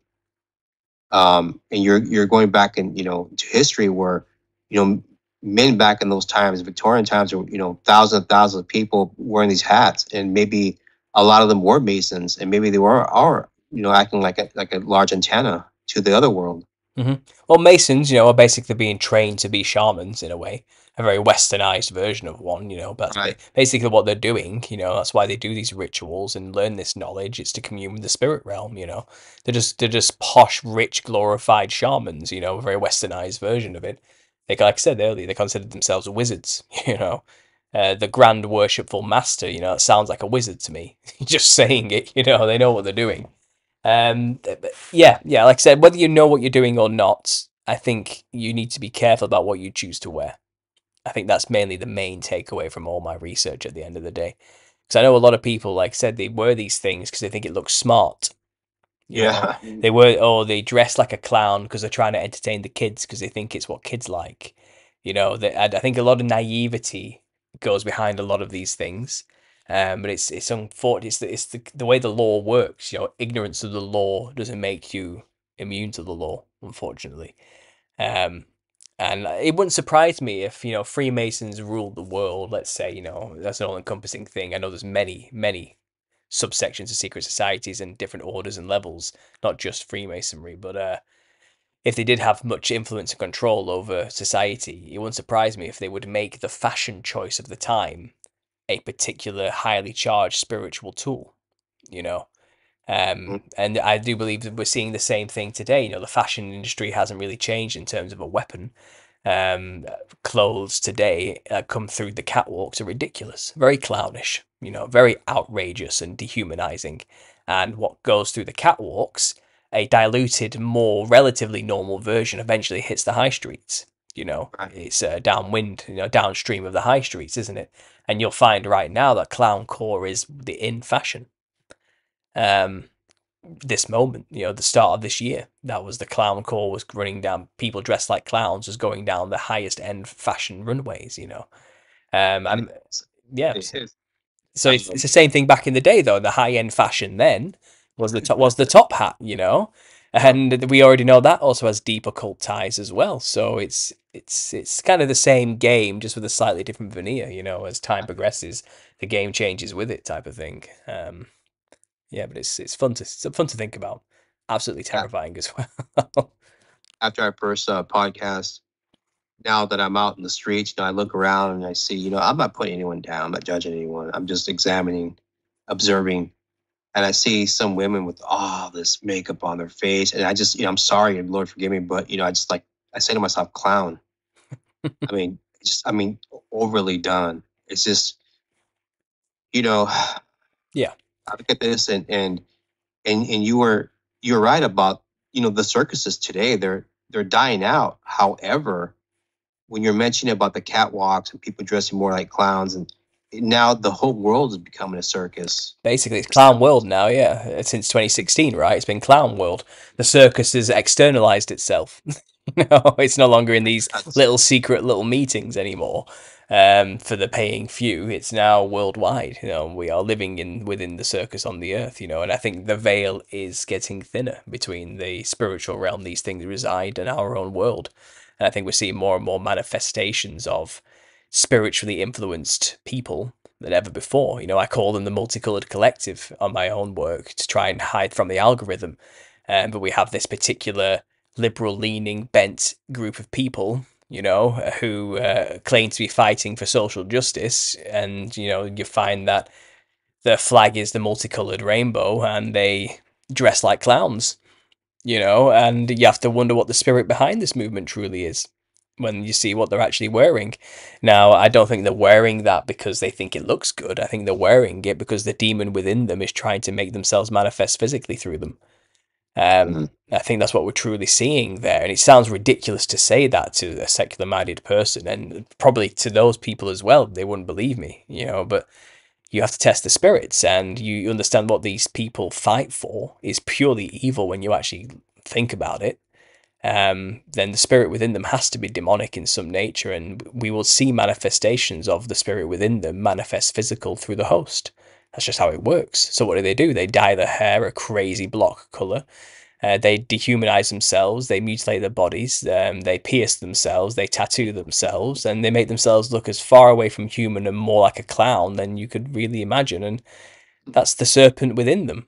You know, that's the multicolored fractal demonic uh, jester clown demon within them manifesting physically. Like you're describing this person that I've seen online. Well, uh, Like- yeah, there's hundreds, hundreds of them. Unfortunately, they're all kind of clones of each other. No, no, but there's like this guy very specifically. He literally has his face tattooed like a clown. And he claims to be a believer in Jesus, and he's just literally dressed up like a clown. He's out here in California. I don't know if you've ever heard of him or not, but I think we touched on that. I have I have heard of him. I'm very well aware of him. I've been watching him since his inception before he blew up. Um, I I personally reached out to the man, and he has not answered any my, any of my emails or got back in touch. I've told him all about my work, and um, you know I was as sincere and as honest and as open with him as I possibly could be. I've given him the benefit of the doubts if he is a genuine born again or not. Um, but so far, I haven't seen anything substantial to make me think he isn't actually just some kind of in it for the money type of person, or um, hasn't tr- has it, or at the very least, you know, being generous, maybe he just has a long way to go in his walk yet. There's a lot of worldly things still yet he needs to let go of, um, and it's a long, hard process. You know, coming to Christ fully and and burning away the old self for the new. Um, and he may have a lot of things yet he is still uh, clinging on to that he's afraid to let go of. Because who is he if he, he is not the clown barber of California? He has those questions to ask. No, he has those real questions he needs to ask himself. Who am I? Who am I if I am not Richie the barber? You know what I mean? Who am I if I am not the guy who dresses like a clown? He needs to. That it is his identity. It's you know, and it's not going to be easy for him to just let that go. It it Yeah. not you know, and the, you you better believe the demons are not going to let it go either. this guy's influence, you know, he's he's he can be a very useful tool for the demons, you know, and the, unfortunately, the longer he holds on to that persona, he's still holding on to those demons, as far as I'm concerned. Yeah. You know, we uh Yeah. we were gonna have him on our show too, and and I went back and forth with him. And uh you want to tell a story? No, but And um so you know, I I he said, "Wow," he says, you know, uh, um, he sent me a, a text message on Messenger. Says I got to get paid. Just Oh, really blunt, not like you know, hey, you know, brother, um, you know, can you help my ministry? You know, can you you know donate a little bit? No, I got to get paid. And he was on another podcast just it, it it was a few months ago, and um, I said, "Well, did they pay you?" He says, "I ain't arguing with you." And he basically just cut me off. Says, "I and I don't want to be on your show." I'm like, "Wow!" I mean, it was really rude. I'm just I'm just summarizing it. and you also uh, mentioned that um, you know, like a lot of other people who believe in Christ have came on our podcast who are no offense, a lot more popular and a lot and a lot more knowledgeable than he is, and they didn't charge us one dollar for it because it's all about spreading the word and you know spreading the gospel. And he just kind of laughed it off as Yeah. like we're a joke. You know, Yeah, I mentioned. I'm not the one that looks like a clown, you know. So Uh, I mentioned um, specifically um, Dr. Richard Gallagher, clinical psychologist, uh, New York, who's been doing this for 30, 35 years in demonic possession with, with the likes of uh, Father Malachi Martin and some other uh, Catholic uh, um, exorcists. And uh, this guy's a, a full fledged, you know, uh, PhD, MD. And I mentioned him to um, this this clown guy, and um, he just laughed it off, like, okay, this is just a big joke. So, I mean, coming from that point of view, all we can do is pray for the guy, but you know, he does have a lot of work to do. And in my opinion, I think that um, he needs to let go of the worldly stuff, which is money. And if he's doing deliverances, I don't wholeheartedly believe that it's deliverance. Um, because if to do understand speaking with these various people we've interviewed, these people who are really highly intelligent and really know what they're doing when it comes to deliverance or exorcist, if you're Catholic, that you have to be pure of heart to do this. And, and, and a man or a woman who are holding on to worldly things, by you can tell by their looks or what they have in their heart, how can a Nephilim deliver a person from a Nephilim? And the Bible also says, you know, people always say, you know, it's not about it's not about how I look, it's not about this, it's not about, you know, it's not about, you know, my clothing, how I dress, but it is because the Bible says you, you know, you show your loyalty by your fruits. And to me, you know, the fruits is, is also what's on the outside. Like for example, if I meet someone on the street and they have, you know, they're dressed, you know, with a bunch of piercings and, you know, they're all wearing a bunch of satanic, you know, rock band shirts you know, based off based off what I see without knowing you. I mean, I don't know you. To me, I would the last thing I think you would believe is in God. The Bible says show your fruits, it doesn't say show your roots. So, you know, you also have to be different from the world. But and that to me, that's by the way you dress, by the way you look. You you can't be part of this world. That's just, you know, what I get from the book. Yeah, well, in Rich's defense, he has tattooed himself. There's not much he can actually do to change that now. There's very little he can actually do about that. So yes. he he is going to have a very tough time to convince us otherwise. If that yeah. you know if that's how we're going to see it, I would like to, like I said, I would like to assume ignorance before malevolence here. I hope he is sincere and he might at least believe he's doing the work of God. You know, I hope so. Um, and like I said, maybe it's just going to be a long process for him of less letting go of a lot of things, and it's a painful process. We've all had to go through it. You know, we've we've all had worldly addictions and things we've had to kind of fight. You know, and and through the grace of God and the help of Jesus, we've we've, we've beat it to the best we can. You know, I, I I still have an issue with caffeine. I think that's probably my last thing I need to deal with. You know, but um, you know, I I've I've been there. I, I've got tattoos myself. You know, I've I've been a drug addict and all this type of thing. So I'd I'd like not to judge as much as I can, but um, so far, like I said, I've I've seen very I've seen very low effort to actually change. Um, yeah. that's so far. Um, I would I would hope we can see more, but uh, I have yet to see that personally. Um, and I don't imagine the, the thing is, a lot of people follow him now. It's like you say, you know, he's casting out demons. Um, and he was talking. I watched one of his recent videos, and he was talking about how a person just came to him when he was at his barber shop, shook his hand, and then started crying and says, "You know, I've got demons and all this type of thing." And he he's saying how he cast them out of him. But then he was t- saying, you know, he's casting demons out of people. Then you know, sometimes they come back and they've got more demons, and it's kind of like, well, wait a minute.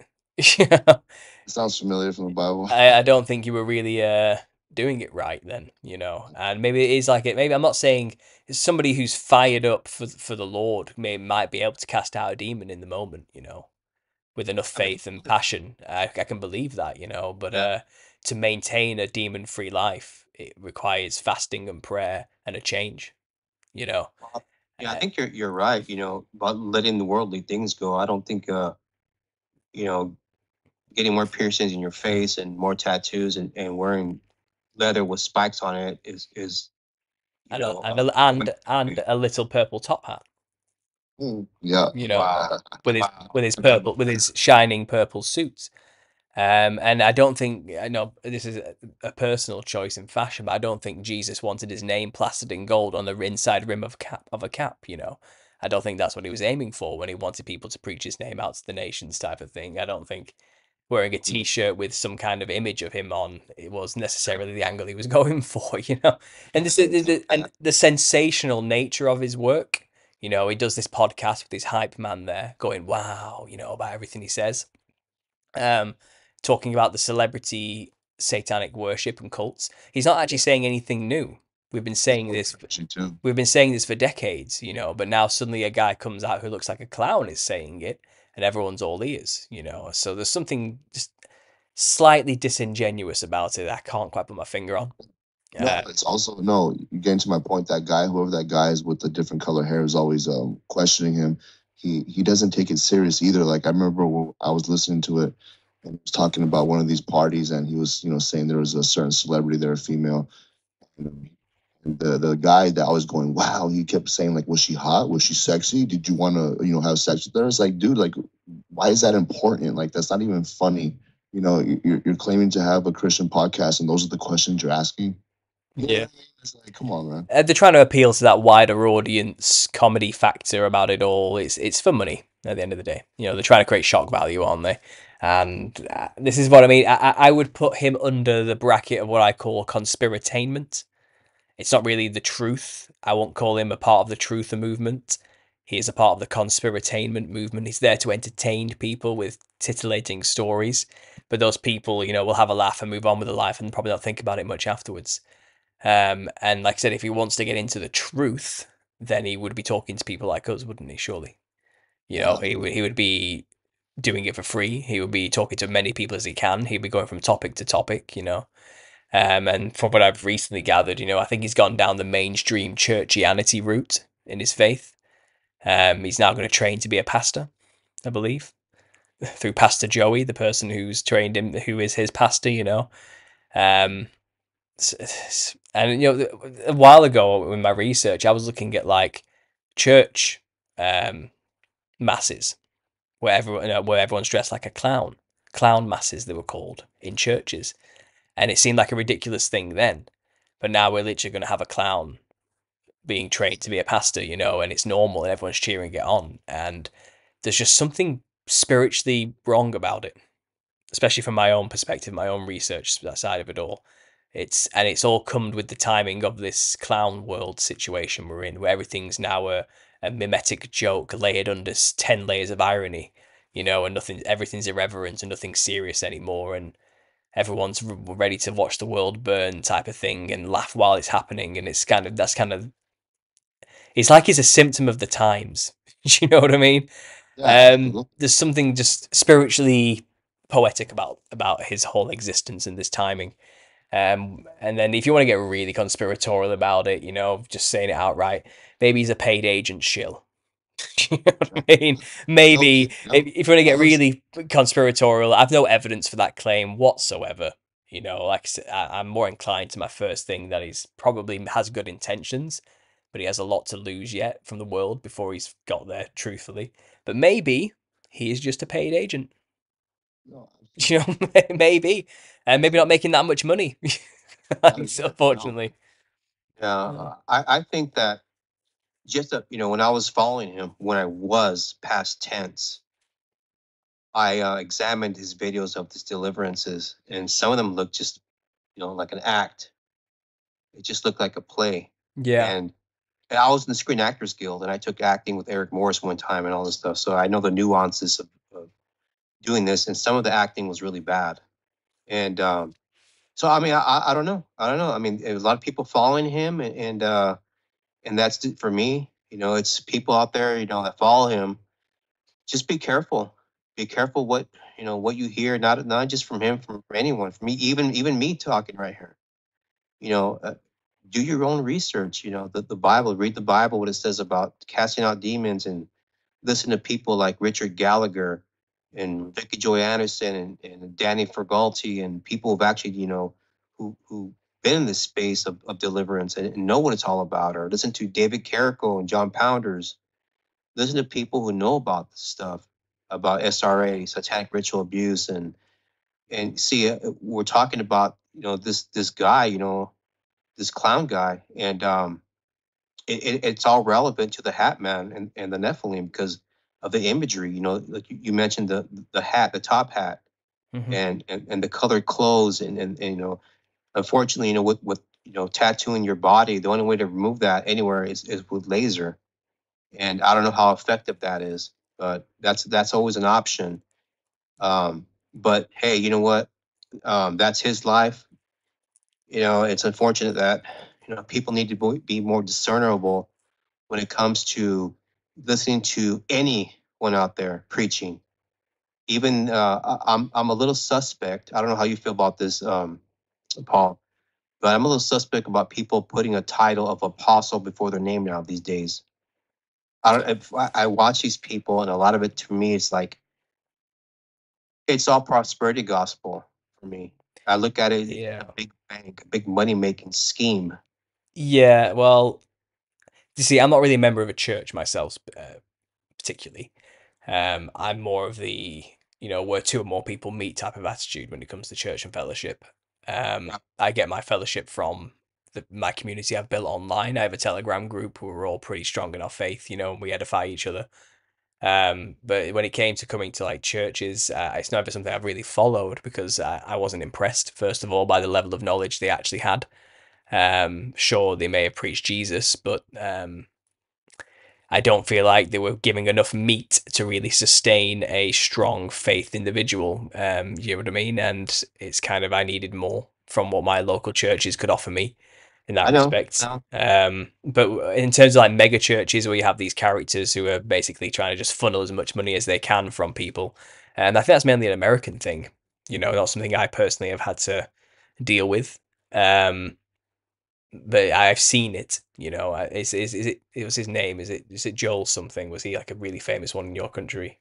Joel Joel Osteen. yeah. Yeah. supposedly he's stepping away to do something else now. He's made his money, has he? It is millions, man. yeah. There you go. That's Uh, what I mean. Uh, Crazy. if you got to be wary of anybody preaching the gospel, that that'll make you rich. You know, Yeah. um, prosperity gospel, I think it's called, and things like that. Um, that's not what it's about. You know, it's that's not. You know, your faith is to help pull you out from the sea, from drowning, really, and it's to keep you above water in this world. That's what it should be for. You know, it's not to. It's not. It's not there as a as a snorkel to help you dive deeper into the world. Um, that's and it's kind of got to be you know like I said, money is is the root of all evil, unfortunately, and uh, you see a lot of that going around, definitely. Yeah, I Um, was um I, I was a part of a church called Destiny. and I um you know I'm dropping we're dropping bombs today. You know I'll just I'll just say it because you know it, it's in my opinion. I have the right to my opinion. It's pretty bad. I went to this church and it was great. I mean, the lead pastor was great. It was it was really I, I really was enjoying it until it started getting to more about money. It started getting more about raising money. Hmm. And oh, we, we raised this amount of money, but oh, we can't get that building because we used to pay other bills.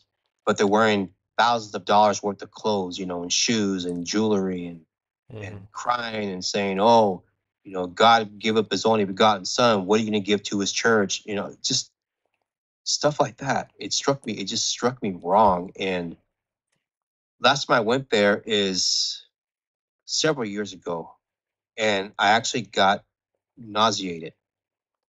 And I left, and I never went back.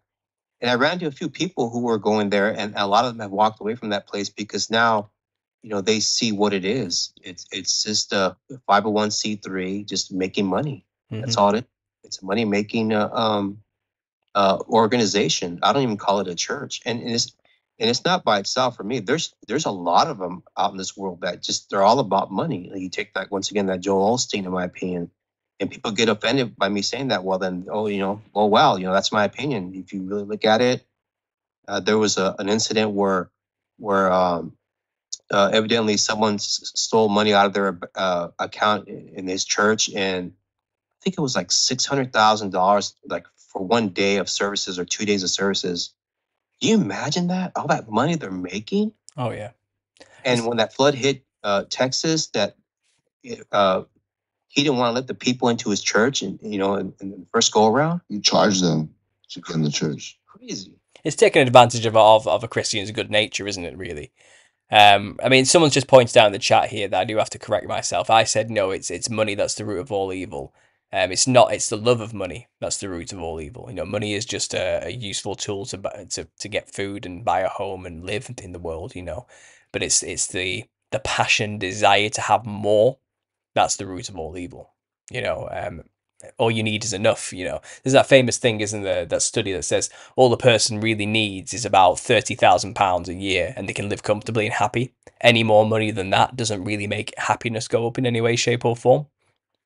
It's from then on, it's just a pursuit of power. It's something else. Then it's gone away from just having a happy, comfortable life. You know, maybe that's an old statement because thirty thousand pounds isn't a lot of money these days. but uh, I'm pretty sure about you know, let's let's make that up to fifty thousand now. Then let's say for inflation, you know, but uh, Um, like I said, the, the love of money is is the issue. Is I suppose is what I need to correct myself saying there. So uh, S York, thanks for correcting me on that one in the chat there. um, but like I said, it's, it's it's taking advantage of people's good nature. Um, you know, Christians want to support people; they want to give. You know, and I think it's kind of the problem with the world we live in is that people think money is the be all and end all of how to help somebody. It's kind of a part of our issue. You know, we realize it's um it's not money necessarily an individual will need to make their life better. You know, you can give a homeless person a load of money, you know, and say go sort your life out. But what if they just go and just spend it all on drugs? You know, it's it's they need saving is what they need. They don't need money, you know. They need they need a change of heart and they need to be free from the demons and addictions. It's more than just throwing money at the problem, but obviously our culture, especially Western culture, that's kind of how our understanding of what giving is. It's uh, money you know so it's again it's preying on misunderstandings it's preying on people's good nature um, in, in terms of like um, we talking about Richie the Barber earlier, you know, we were mentioning the multicolored collective. Um, I just want to bring it back to this whole idea about the clowns. You know, um, the Barber is, I wouldn't say he comes under the umbrella of um, the kind of multicolored collective I was talking about, but I do think he's definitely a symptom of the times. Um, like I said, because uh, he's there seems to be let's say Christian characters or in the political sphere right wing characters appearing to counter this heavy left leaning thing we've had dominating us for the past um, three to four years. You know this uh, ultra Marxist liberal social Marxist attitude that's dominated the earth. You know. And uh, you'll find, you know, it all kind of ties in together. I said these people, you know, dress like clowns. And well, it's mainly this new age liberal left wing culture and ideology that also uh, purports the use of drugs and psychedelics, you know, to contact these entities. Um, and I was just obviously, I think it's probably um, pertinent for us to talk about the DMT realm and um, where these jesters are as well. You know, I think it's probably a good way to tie it in. So, yeah, yeah. jesters. Absolutely. So you know, um, I personally, I, I come from that new age Gnostic world um, hmm. like I said, I mentioned at the start of this stream, you know, I was I was taking psychedelics regularly, experimenting with them, trying to understand just exactly what it was and what this what this creation is, type of thing. And I'm lucky that on the other side of it, I I realized it means there's a there's a God who created all of this. Um, I'm not saying do drugs to see God. I'm not saying you need to. I was just fortunate that that's what I took away from it. Most people don't most people start believing they are God as a result of taking these drugs, you know. Um, but uh, thank thanks to my own research along the side and my study into the biblical perspective, it quickly taught me what was really going on. Um, I know I, I'll give a brief understanding of what I think this DMT realm is that everyone goes on about all the time in these cultures and these forums online, these trip reports. You know, they claim to see jesters there, or entities that look like jesters there, or machine elves, or self-dribbling, shape-shifting forms of light in some way, you know, or these psychedelic fractaled snake-like animals, insectoid beings, and all these entities here. In this ultra psychedelic, colourful, fractaled, patterned world of some kind. And the common interpretation I find in these forums is always something like this is a projection of my own collective unconsciousness, reflecting back to me mankind's um, archetypical symbols. So that was a bit of a mouthful, you know. So if I could simplify that, it's basically saying collectively mankind has one consciousness. We have all come up with symbols to represent things which we share as a common symbol. And when you go to the DMT realm, you're going to the realm of where all that consciousness connects. And you're seeing all these symbols manifest in an attempt to teach you stuff to make you more enlightened. That's basically what they believe they're looking at.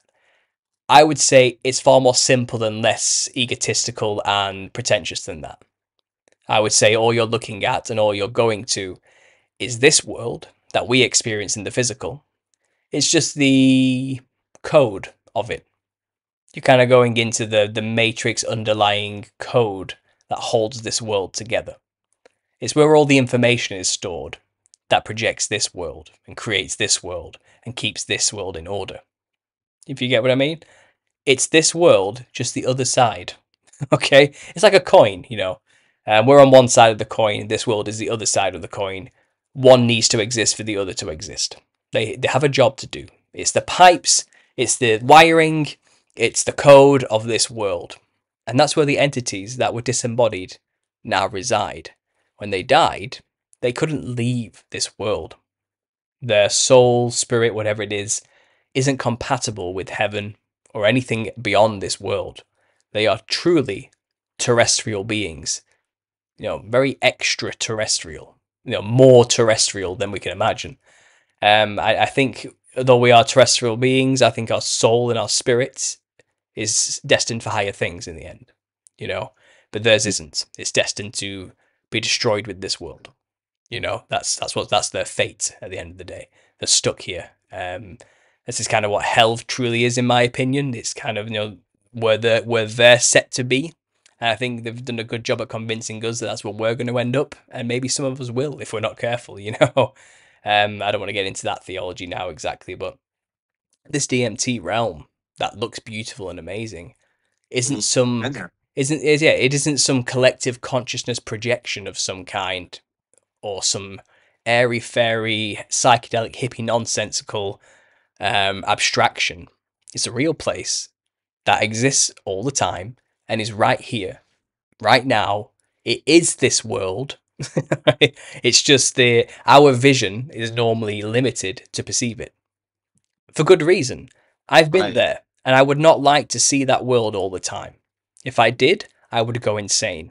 I wouldn't be able to live if I was constantly perceiving the DMT realm. I wouldn't be able to have a life.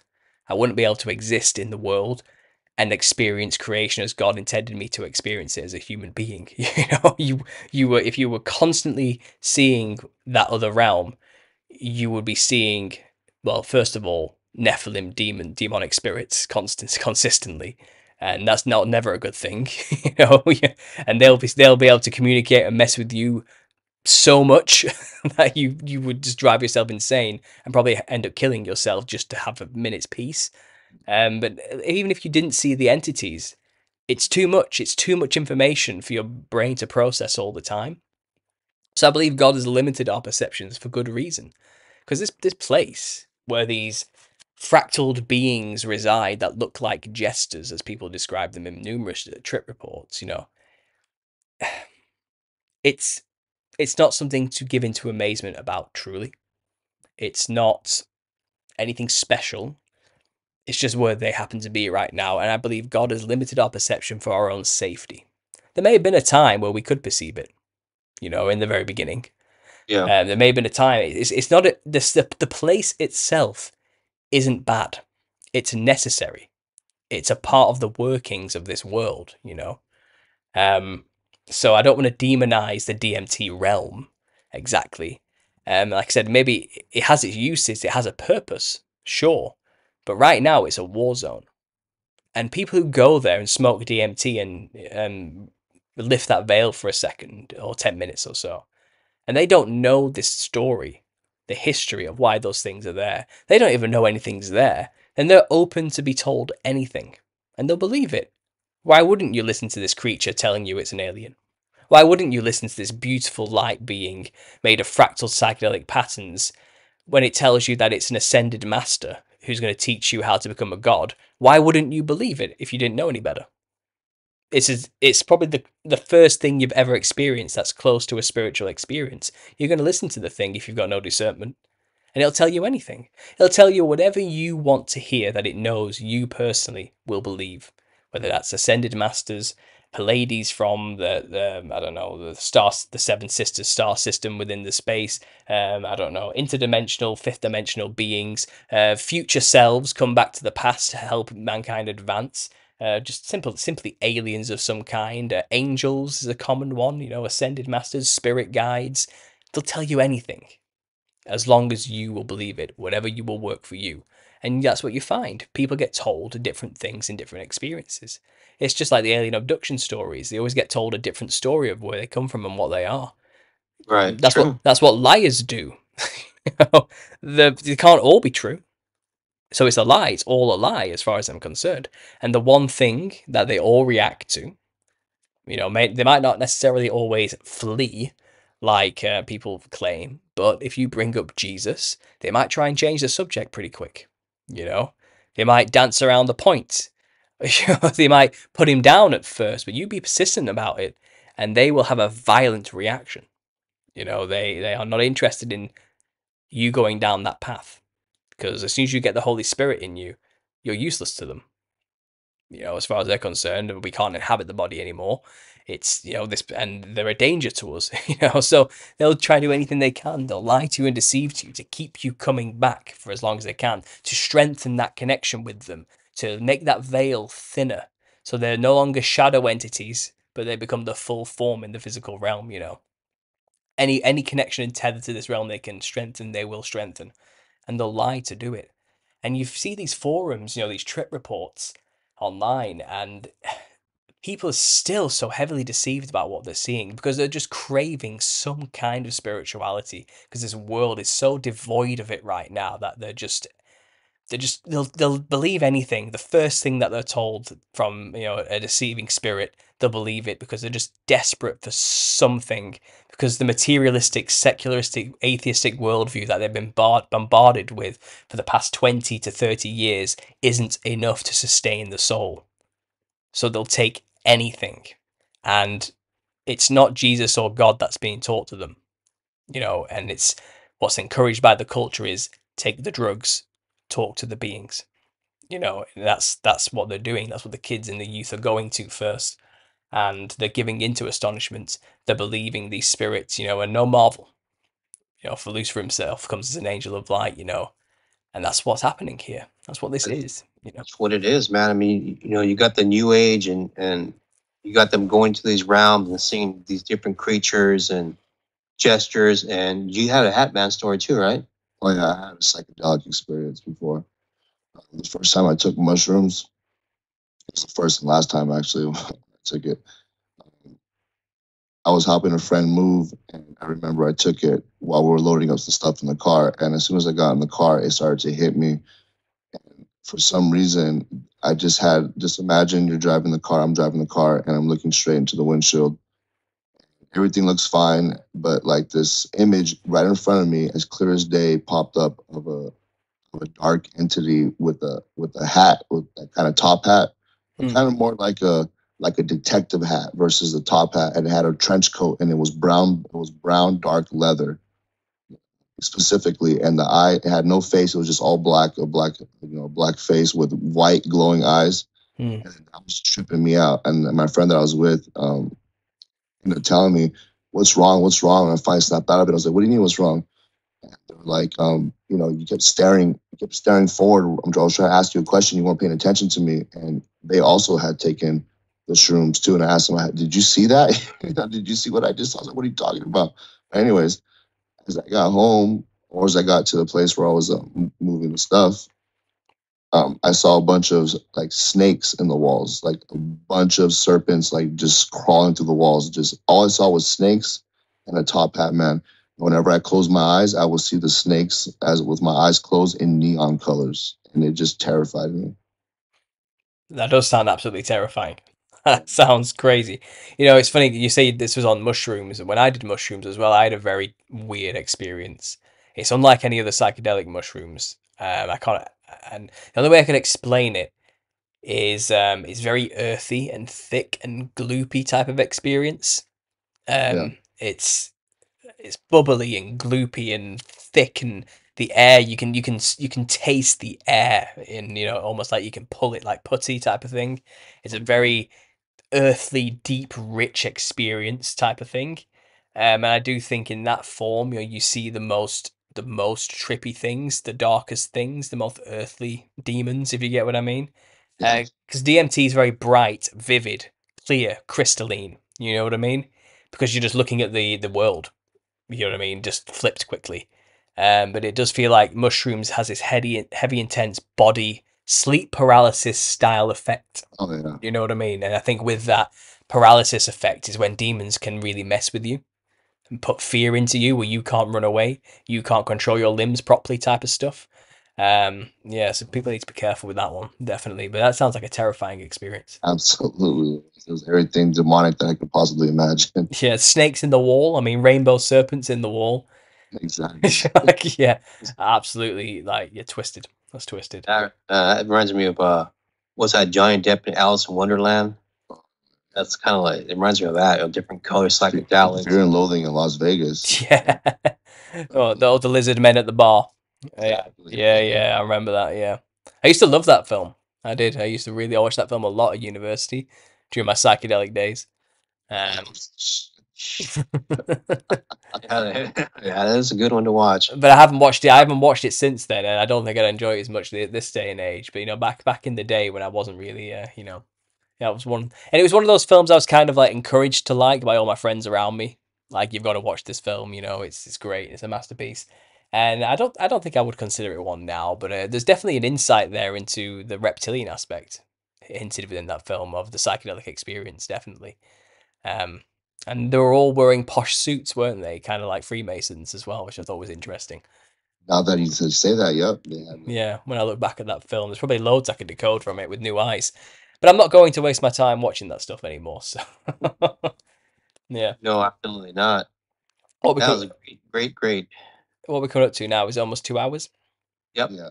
Yeah. Is if there anything else um, we want to discuss? I mean, I'm I'm game to go for a, little bit longer, but it's up to you guys if you want to call it a night. Uh, um, Tell us some more stuff. Tell us some more stories. yeah. Have you got any other any other DMT trips that you know uh, you can remember? You mentioned in the we started off about that dream. Yeah. Um. I mean, uh, I I think peop- I think people would want to hear more what what you saw on DMT. Like like what was the landscape? What kind of creature did you see and stuff like that? see, I got lucky that I didn't see the creatures during the trip itself. It was afterwards for me. Um, after the experiences, I kind of opened up a gateway, if you get what I mean. But during the during the, the experiences, the I, I I did it. I did DMT in two different settings, but I did it like twice in each setting, if you get what I mean. Um, but different times apart. So I suppose I've done it four times, but we'll call it two sessions, if you get what I mean. Um, and the first session, obviously, the first time you're a bundle of nerves, you're terrified of what's to come. It's like before you go on a roller coaster and you don't know what to expect type of feeling. Um, but I, I, you know, took the three hits, I held them in, um, and I pierced through, and I ended up in a um. Very quickly, the room kind of dissipated into itself. It's like um, everything was a, suddenly a geometric formed pattern even the walls the, the wrinkles on the bedding in front of me everything about it was all perfectly meant to be type of feeling and it all kind of just became a mandalaed circular form within me but it, the form was made up of the objects in front of me and the objects in front of me hadn't changed but my perception of it all had changed it's a very difficult thing to explain um, so that was my first hint that I'm not actually leaving the room. Do you get what I mean? It's more my Right. perception of the room has changed. That's what I realized. My first thing about DMT I realized was that. And then I pierced through this mandala thing, and then the room was gone. So it was still the room. I knew I was in the room, but I wasn't looking at it anymore. Instead, I was looking, I was within the center of a huge toroidal 3D realm form, and I was in the middle of it, radiating out of my head underneath me within um, and I was looking around this this red and black patterned psychedelic ordained with gold frills type floral geometric landscape type thing but it's like I was locked within like a world of sorts and I was watching it unfold in front of me. And I was kind of there for 10 minutes while also in the room. It's weird because I could interact with the people around me but I was also not there with them anymore it's a very weird sensation um, and my friends who were next to me were saying he could see a woman dancing in the wall. Like, um, and I couldn't see it personally. Um, so I didn't have a shared experience necessarily. Um, but then it got to when the trip got to its highest point, I, I couldn't communicate with anybody anymore. I was I was gone, uh, but I was I did feel like an intense like peace, I guess we'll call it. Um, ego death, I guess, is the word people always described it as. Mhm. Um, I I no longer had a sense of self. You know, it was I was gone in that respect. Wow. Um, time was gone, everything was gone, and I was kind of in the void, and the void was beautiful, but I no longer had um any worries, doubts. I had I didn't have a future. I didn't have a past. Uh, There was just this net one moment type of feeling, you know, and it was all in all, you know, if I'm being honest here, it was probably a pleasant experience. Right. You know what I mean? And I came back, but I didn't get any spiritual insight from it. I didn't come away from that thinking I was God. You know, it was more of a, I think I've just seen through the creation a little bit and realized that it is a creation, you know? And Yeah. I was strong enough by that point in knowledge, I think, to understand that I was looking for God, the real God, the Jesus God. I wasn't looking for demons or anything else. I was well aware of the jesters and the machine elves, you know, and what people claim to see, you know. So I was half expecting something to appear, but it didn't. Um, because I was also aware of my uh, demon research by this point. I think you know um, I've been doing a lot of psychedelic mushroom exploration, MDMA, without that knowledge. But by this point, I was already prepared. I wasn't a Christian by this point, you know, but I was already researching the perspective. I was coming out of the new age slowly, you know, and I wa- I was never really a new age hippie type person. I never have been. Um, I've always been me, as I'm talking to you now, kind of, you know. Um, I was never into the whole tarot card thing and crystal power and all that sort of stuff. That's never. Right. I was more logistical about it. Like I wanted to kind of be scientific method to understanding these experiences type of attitude. You know, I really want to understand what this really is without trying to add too much artistic layering to my experience. You know, I'm just going to take the experience for what it actually was type of attitude. And I came away my from my first trip knowing for a fact it's a creation. I didn't make it. Something else has made this. Mm. And it's not as physical as I thought it was. I perceive it to be physical, sure, but there's also this other side to it, which is a spirit world. We'll call it. It has many names, you know, but it's Right. here right now in the room with me. And I suppose in a way I was blessed that no entity did come to me. Yeah. maybe nice. maybe no entity did appear because it already knew I was armed with the knowledge to defend myself if necessary. Now I'm not saying I was a Christian, but in that moment I probably would have called on Jesus if one did turn up. Do you get what I mean? Like Mm. it's kind of I was already at that point. Maybe it was too late for them to convince me of anything, so they just left it. Maybe the demon's attitude was it's probably best not to appear. Maybe then he'll believe we don't exist. Do you know what I mean? Something like that. Um, I can only speculate on why nothing came to me. Um, so months passed after this, about six months, and I reunited with my old university friends again, and we did it again. This is um when the periods I was doing this. So I'd already left university by this point. I was already going into my faith heavily. You know what I mean? And I wouldn't say I was fully given over to Christ by this point, but I was close. You know, but I was still dabbling a little bit in this realm. Um, still smoked weed. You know what I mean? That type of thing. Um, so I did this again, and you know I was with people and I remember looking into the face as I took the hit of, of one of my close friends there, and I, I saw in his face kind of every nodal connection point of the design where all the dots and veins connected. It's And he kind of it's kind of like I was looking at the map of his design. You know when you see like you know like when an NPC gets created in a computer program before all the details get added, it's like a mesh Right. that right. all the all the layers get added to. I felt like I could see that energetic mesh within him. All the points of, of his of his form were perfect, even though he was imperfect and no one's symmetrical and everything like. That, But he was perfect still, you know, in his own way. Um, it was a perfect. It's like it's almost though I saw every follicle on his head. You know, I saw every freckle. I saw every every crease, every line, every every pore. You know, I saw the mo- the blood run through his veins, type of thing. I could I could see it all as one image finally, and it was psychedelic, man. That's the only way I can describe it. but that was another hint to me that we are created beings. We are designed. You know, it's a crazy experience. I mean, yeah. And then did you see these? Uh, like, you see, like blood vessels and hair. You see that like in images or like? no, I, I meant like I could I could see through him in a way. Oh wow. Um, I, he was, and I could see the skin was no longer just this this one thing. You know, you realize it's constantly changing color because of the blood flow through the vessels within the surface of the skin. You know, it's it's not, Crazy. and it's kind of like normally, do you know, like frames per second when you view something. Mhm. Um, we have a digital way of describing it. You know, I've I feel like normally we see things at 60 frames per second. It's probably faster. But I felt like I was seeing everything at like 10,000 frames per second. So I noticed and processed more of the details of what was actually happening. And it's kind of like you realize, you know, that whole idea that particles are empty space, Mhm. you know, and everything is just vibration and frequency that holds it together. I felt Yeah. like I could see that finally. That's crazy. Like it wasn't that it, you know, I could finally realize that although he is in front of me physical, he is in constant flux and change. In a sense, you know, he's a spiritual being still, in a, having a physical in a physical body. You know, he is the body and the spirit at the same time, type of thing.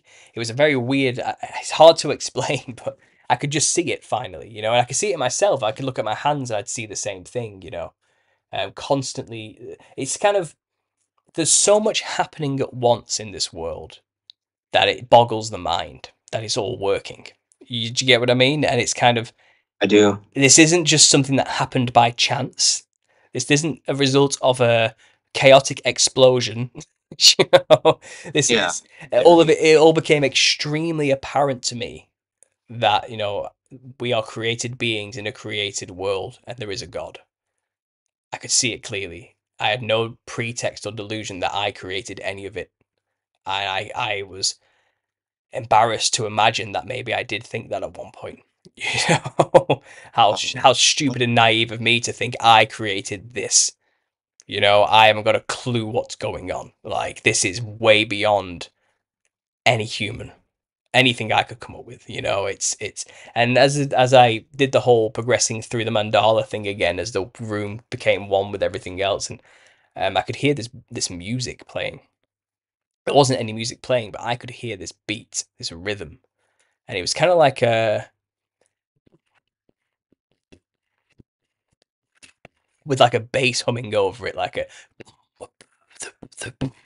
It was just going and going constantly, and it was like the world made that noise. You know what I mean? It, the whole world was vibrating this constant sound, and the walls were dancing like color, but waves splashing into each other. You know, and I could see these these humans that I've known for years as these beautifully perfect creations around me. These, you know, more magnificent than any creature I've ever seen in nature before, type of thing. And I just, I just, all I did for the rest of the trip was rock back and forth with my hands clasped together under my chin, saying, My God, my God, my God, my God, over and over again in astonishment. And um, after that day, I never did another drug ever again. Oh wow, I that's mean, an experience. Well, no psychedelic or hard drug ever again. I didn't need to. I'd seen enough, you know. Um, and then after that time, you know, over maybe a few years after I'd cold turkey quit cannabis, um, turkey. Wow. I switched to. I actually documented the whole experience of quitting on YouTube, but I had to remove it all due to drug related stuff and copyright. Yeah, it got ridiculous. How was it? How was the first day? Because I'm trying to quit this stuff myself. It was uh, okay. Well, I'd say the first three weeks are the are, are tough.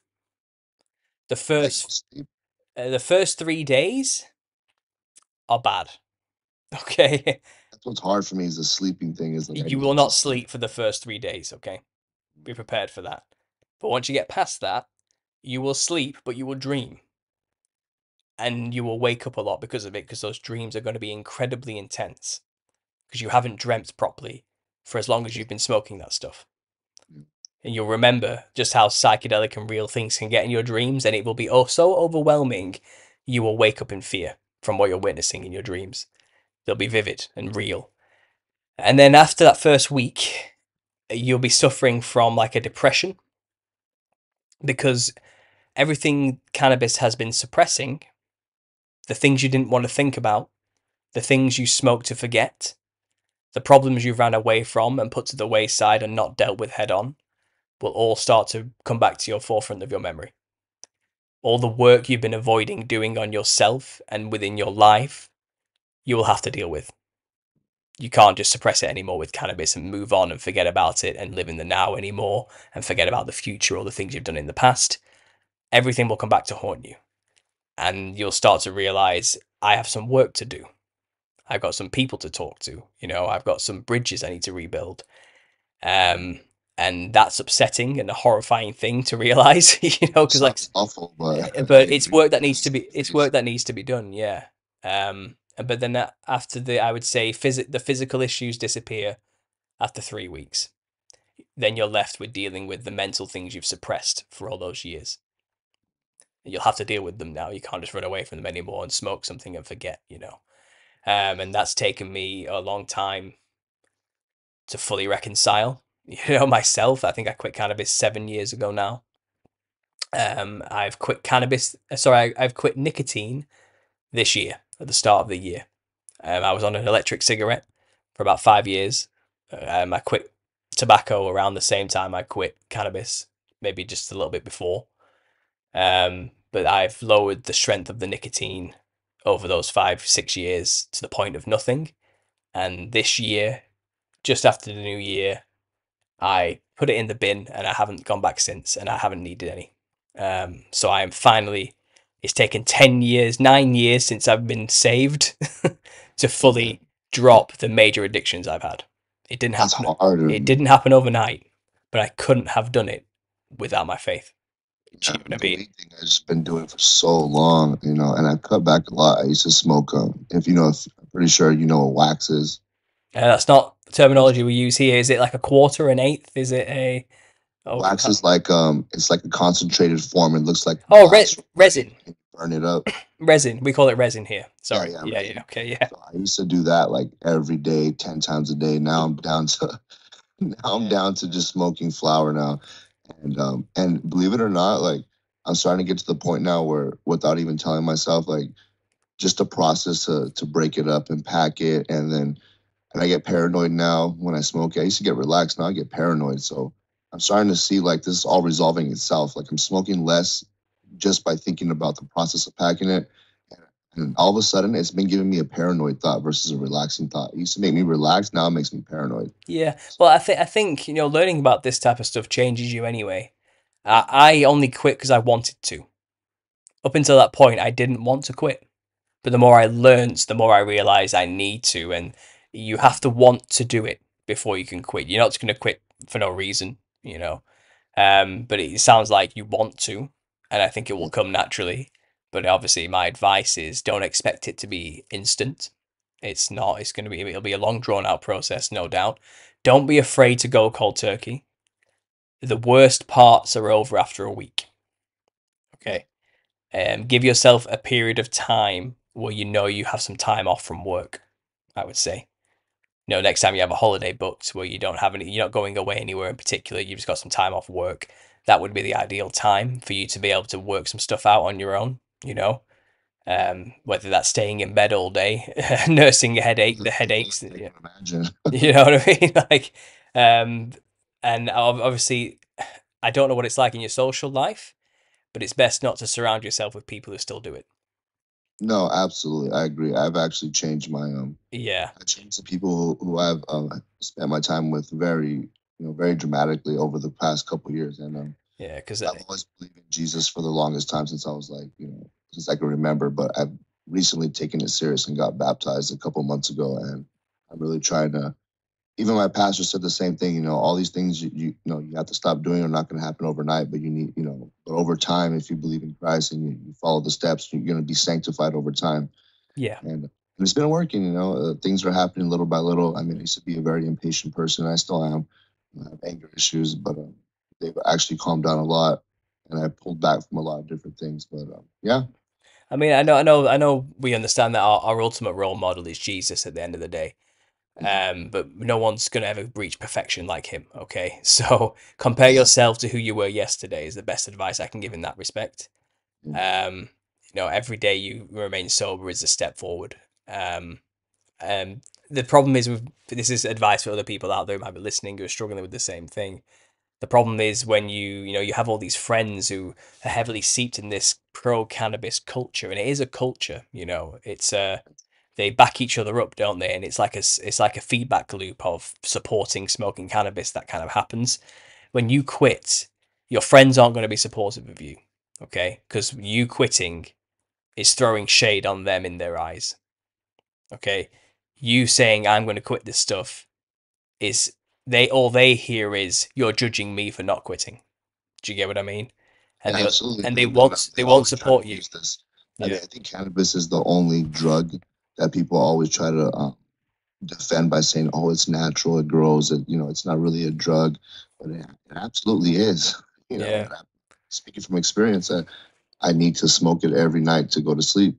I was a I was drug. I was that. know, there. it's My choice is by wanting.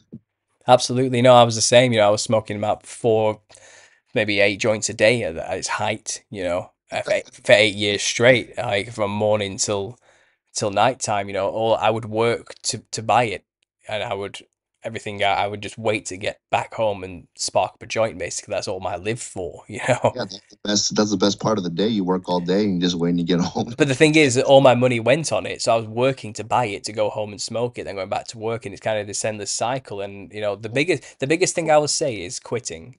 You will very quickly see the amount of money you have. Okay, and that will be your first incentive to carry on. I would say, um, because the shock of how much money I spent on that once you once I actually put it in perspective after I quit was ridiculous. It's it's ridiculously expensive in England. It is especially. I'm, it might be cheaper there for you in America. I'm not sure. California is pretty cheap. But, Yeah. but it's it's not that cheap. It's it's uh, it's about another car payment a month. That's what I mean. No, it's it's it's no joke when the money comes when it comes down to it. You know that that's money that can be best spent elsewhere. You know, on more productive, useful things for your life. Um, it's a waste of time and your life smoking. You'll realize how many years you've wasted. You know, once you've you're free from it, type of thing. Um, it keeps you locked in such a weird mindset of of constantly being in the now, like I tried to explain earlier, and it's hard. uh, You know, I feel like I've I've lost a lot of time because of it. I've lost eight years of my life. You know, Think um, about it. I wasted so much time. Uh, there's a lot of things I could have gotten done, but you know, you just want to get high. I mean, it's it's it was to the when I first started smoking, I was probably a late teen, and I noticed that I spent a lot of nights wasting my time sitting in the backseat of a car mhm. outside of my house or, or outside of my friend's house, just smoking weed and listening to music and just breaking down the lyrics of a ridiculous song that means absolutely nothing for my faith and my and my personal, you know, immortality. Absolutely, yeah. I, I mean, I, I, I was lucky. Well, I say lucky enough, but um, I could smoke in my own home. I had quite liberal parents in that respect. I, um, I had a, a, a stone, a brick shed in the garden, which kind of made my own space. Um, and I had friends over. I, was, I had a band. You know, I made music. We made music together. It was all kind of just one thing, you know. Um, and I, my place was the place to go. And so it kind of created a, a strong feedback loop culture for me, which was difficult to break because I've been letting other people down. You know, it was in, but I, I let all that go eventually. And, you know, I'll, I'd say since I've obviously been born again and changed my worldview and my, the things I do, I've left people by the wayside who haven't changed, you know, um, and they've kind of abandoned me as well in that respect. Um, because maybe we never were, truly were friends. It was always just about the drugs, you know. exactly. And- Like I said, Yeah, yeah. It's it's. I mean, just I mean, they're they're in their late thirties and they're still bragging about smoke. Oh man, I'm getting high right now. I'm about to get high. About to do this. About to buy this super Magnum joint with ten joints in one that's dipped in oil and dipped in this and and that you're cool. You know, like you know who you know what kind of immature mindset would like yeah man, let me join you, bro. Like they literally post stuff on Instagram. Hey, you know, about to spark a joint. Who wants to come meet up with me in the parking lot, bro? You're 40 you sound like a pervert or a weirdo. well, yeah. So yeah, but it becomes it's it's an identity issue. Um, you know, we're talking about earlier on. We talked about Richie the Barber, weren't we? Who is Richie the Barber without the clown outfit and being the persona? Well, it, a lot of people who suffer from the addiction of cannabis, it's the same thing. Who am I without cannabis? You know, my my entire persona is built around being the guy who smokes all this weed and people you know see me as that type of thing and I, I don't and uh, some people aren't ready to let that go. It's their character it's who they are you know? And what i would say is you know who god truly intended you to be will become clear once you quit you know and you'll realize he had a much better plan for you than that. And, I, but things i empathize with people who smoke it um you know it's a good way to bury the trauma it really is um and I I really I really I don't put anyone down who does it. I get it, and in my own way, I was running from my own traumas. You know, uh, deaths and traumatic events in the family and things like that, heartbreak. You know, and abandonment stuff, and y- you kind of you use it as a crutch to forget. You know, and I get it. I empathize with it, and and uh, you find most addictions. I think there's um there's a psychiatrist called Gabor Maté, I think his name is, Yeah. and he basically has this whole thing about you know people aren't really addicted to drugs. They're just hiding from some a traumatic event. Oh yeah. And all you have to do is confront the traumatic event and deal with that and the addiction will drop. And you know, he's found through his studies that that's what it's really about at the end of the day. Um happy with yourself to to realize that, man. It's all really hard. yeah, you know, yeah. nowadays and age. we're all we're all who hasn't lived in this world and experienced trauma in some way, you know, and uh, we're the most drugged up generation ever. Yeah. Um, and you know, I I cast no judgment on people who who have addictions. Um, we everyone's addicted to something, Absolutely. you know.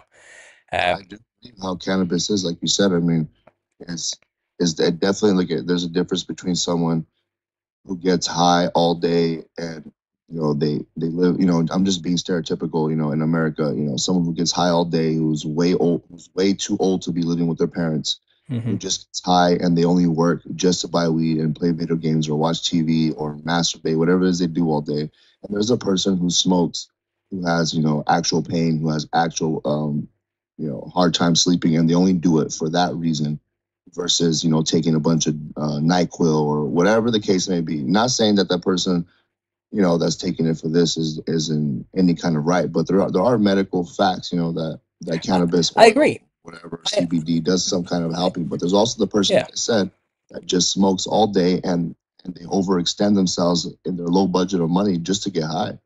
So It's a waste of I think life. there's a difference between using something and abusing something. You know, I do think, like I said, there are great medical advantages for cannabis, and when used as the tool in a correct way for people. Uh, like I said, people with um, is it Parkinson's, the one with the shake? Yes. yeah, yeah. That it's it, it, it helps with that dramatically, you know, and it gives people a better quality of life. And, you know, and at the end of the day, these these these plants and herbs are God's creation. You know, I'm not going to get try and get too hippie about it, but there's there's probably a legitimate use for these, which may, may have been intended, you know. But smoking eight joints a day is not how God was intending this to be used, you know. Um, and running away from your emotional issues is not what it was supposed to be used for, you know. Um, so I'm all for it being, you know, used in a correct way that helps better people's lives in some way. You know, it's not like I'm I'm a zealot about this. You know, like I said, like I said, I empathize with people. I've been there. You know, I, I get it. You know, and this this is not something you should be judgmental about. You know, we're all damaged. We're all addicted to something. We all have a battle, a demon we're battling, or have battled with, or you know, we're all at different levels of basically coming back to, to God. You know, and your struggle is cannabis, as was mine, and many other things. I'm sure. You know, that's that's that is how it is, and I'm.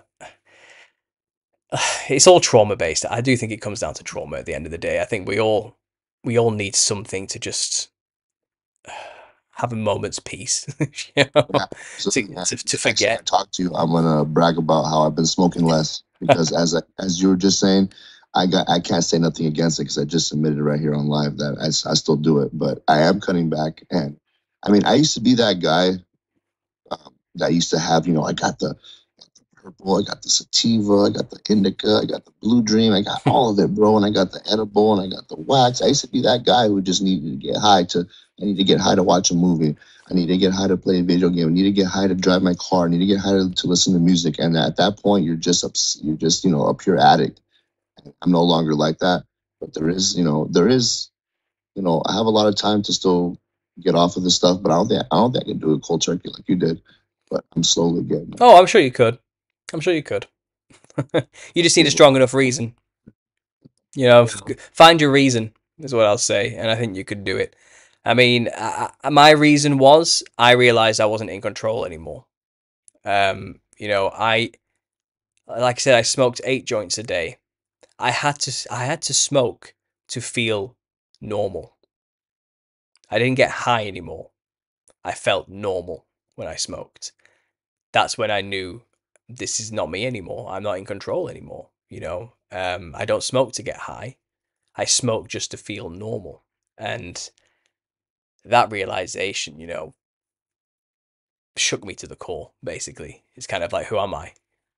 I'm not in control. I'm not, I'm literally not controlling myself here. You know, something else is in control. Um, and I, I was, I was not having it anymore. You know, it's kind of, no, I'm taking back control of my life. It's kind of how I thought about it. And I just did it. Um, and it was scary. It's like taking a bungee jump, you know, it's like jumping out of a plane, not knowing whether or not the parachute's going to work. Um, it's a leap of faith at the end of the day. Um, I would say just take it, and it will. You will be fine. You will be okay. The first seven days are the worst. The first three days are the worst, but seven days is rough. Um, by three weeks, you're out of the body problems, the body withdrawal symptoms. Um, then you'll just have to deal with the psychological issues that you've been ignoring. That's Make sure to reach out to you so you can have my back and help me get through it. You've got my uh, Facebook. Yeah, absolutely. Just reach out to me whenever you want. Yeah. Thank you. I really appreciate that, though. No, no All your advice and everything you've been through, I really appreciate that because I'm dead serious about quitting eventually soon. Yeah, I'm, I, good luck. Good luck. That's all I can say. Good luck to you, honestly. I think it was it was good talking about that, uh, the the Hat Man, DMT, and and also uh, addictions. I think it's good for people to hear that. Some out there need to hear it. Um, Yeah, well, it's all I- it's all connected at the end of the day. Um, we're talking about spiritual stuff here. I mean, we haven't really mentioned the clowns much in this talk, but uh, if people listen to our last previous talk, I cover it in depth there. Um, I suppose the Hatman topic is kind of like an extracurricular topic for the clowns.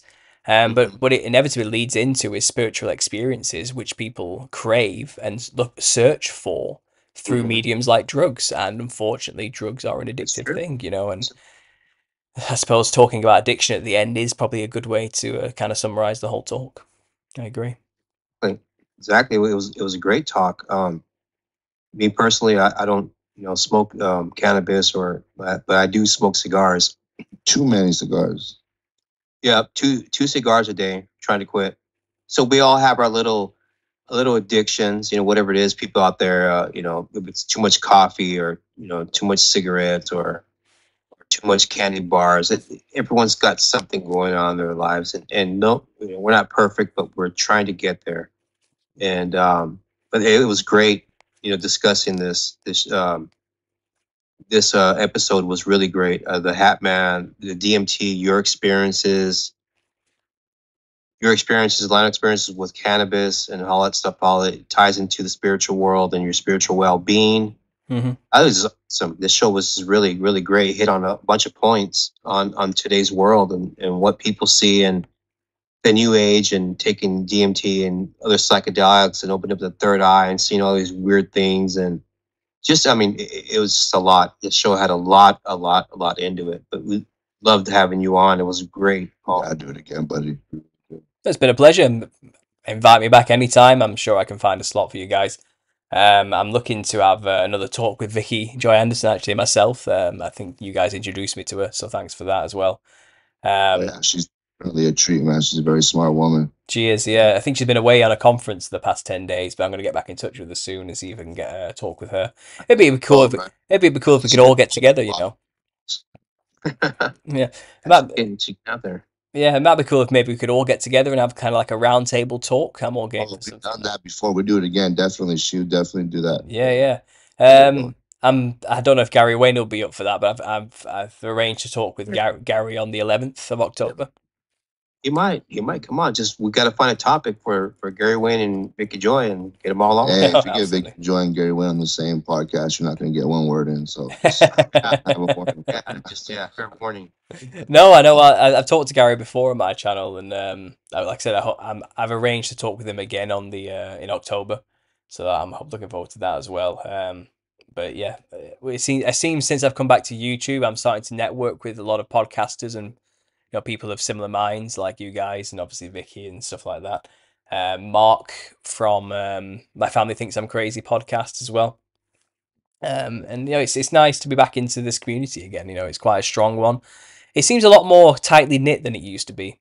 Um, I think a lot more people these days in the conspiracy world and this train of thought type world are, are it's kind of the knowledge is kind of settled now. There's less arguments about it. We kind of all figured it out, you know. Um, so Get some facts down, you know. yeah, that's some what I mean. We know we know a thing or two now. Yeah, there's less arguing about what the situation is. We're all kind of blatantly aware of it now. uh, but no, it's been great to connect with you guys. It really has, um, and I look forward to doing it again. God bless. Thank you. Yeah, you can find uh Sabbath at Midnight podcast on Facebook. Instagram, TikTok, um, Sabbath at midnight, just like that. And, um, don't forget to you know like, share, subscribe, and also follow Follow Paul Paul. Stars right here on YouTube is Understanding Conspiracy. One word, Understanding Conspiracy. That's right. And yeah, God bless. Uh, go ahead, actually, Paul. Go ahead and uh, get more information out. Do you have any other websites that you got? Uh, no, it's all on YouTube for me. Um, I have my channel. You can email me at understandingconspiracy at gmail.com um, if you have any information you want to share with me or you just want to connect. Um, I have a Patreon which you can go to just by searching under Understanding Conspiracy. Um, I do an extra video every week um, for patrons only on there and share extra things like uh, snippets of my book. Um, I am writing a book on this whole Nephilim clown situation. Um, I am 13 chapters in, so I'm a third of the way. I'm getting there. Um, uh, there's a GoFundMe to support that if you want to. You can find the links on my channel to get to that as well. But obviously, like, hopefully the book should be ready by the end of the year, and that should be well, maybe not the end of the year, but roughly halfway through next year. I'm hoping it should be published by that point and proofread and everything, all the legal stuff done and dusted, you know, and um, second draft stuff all sorted. So that's to look forward to on my channel. But if you want to just join in with the conversation, go to YouTube, Understanding Conspiracy, or you can find me on Telegram now as well. I have a nice big group chat there where you can get in touch with me straight away. And we have a nice little community on there. We have a great back and forth. Um, it's good fun. We share information on there regularly. Uh, so Telegram and YouTube. Yeah. Awesome. Thank you once again for coming on Sabbath at Midnight podcast from somewhere in the low desert, not too far from Area 51. Yeah, really quick, just stay on the line, and we're gonna close out right here, and then we'll chat a little bit if that's okay with you, sir. Sure thing.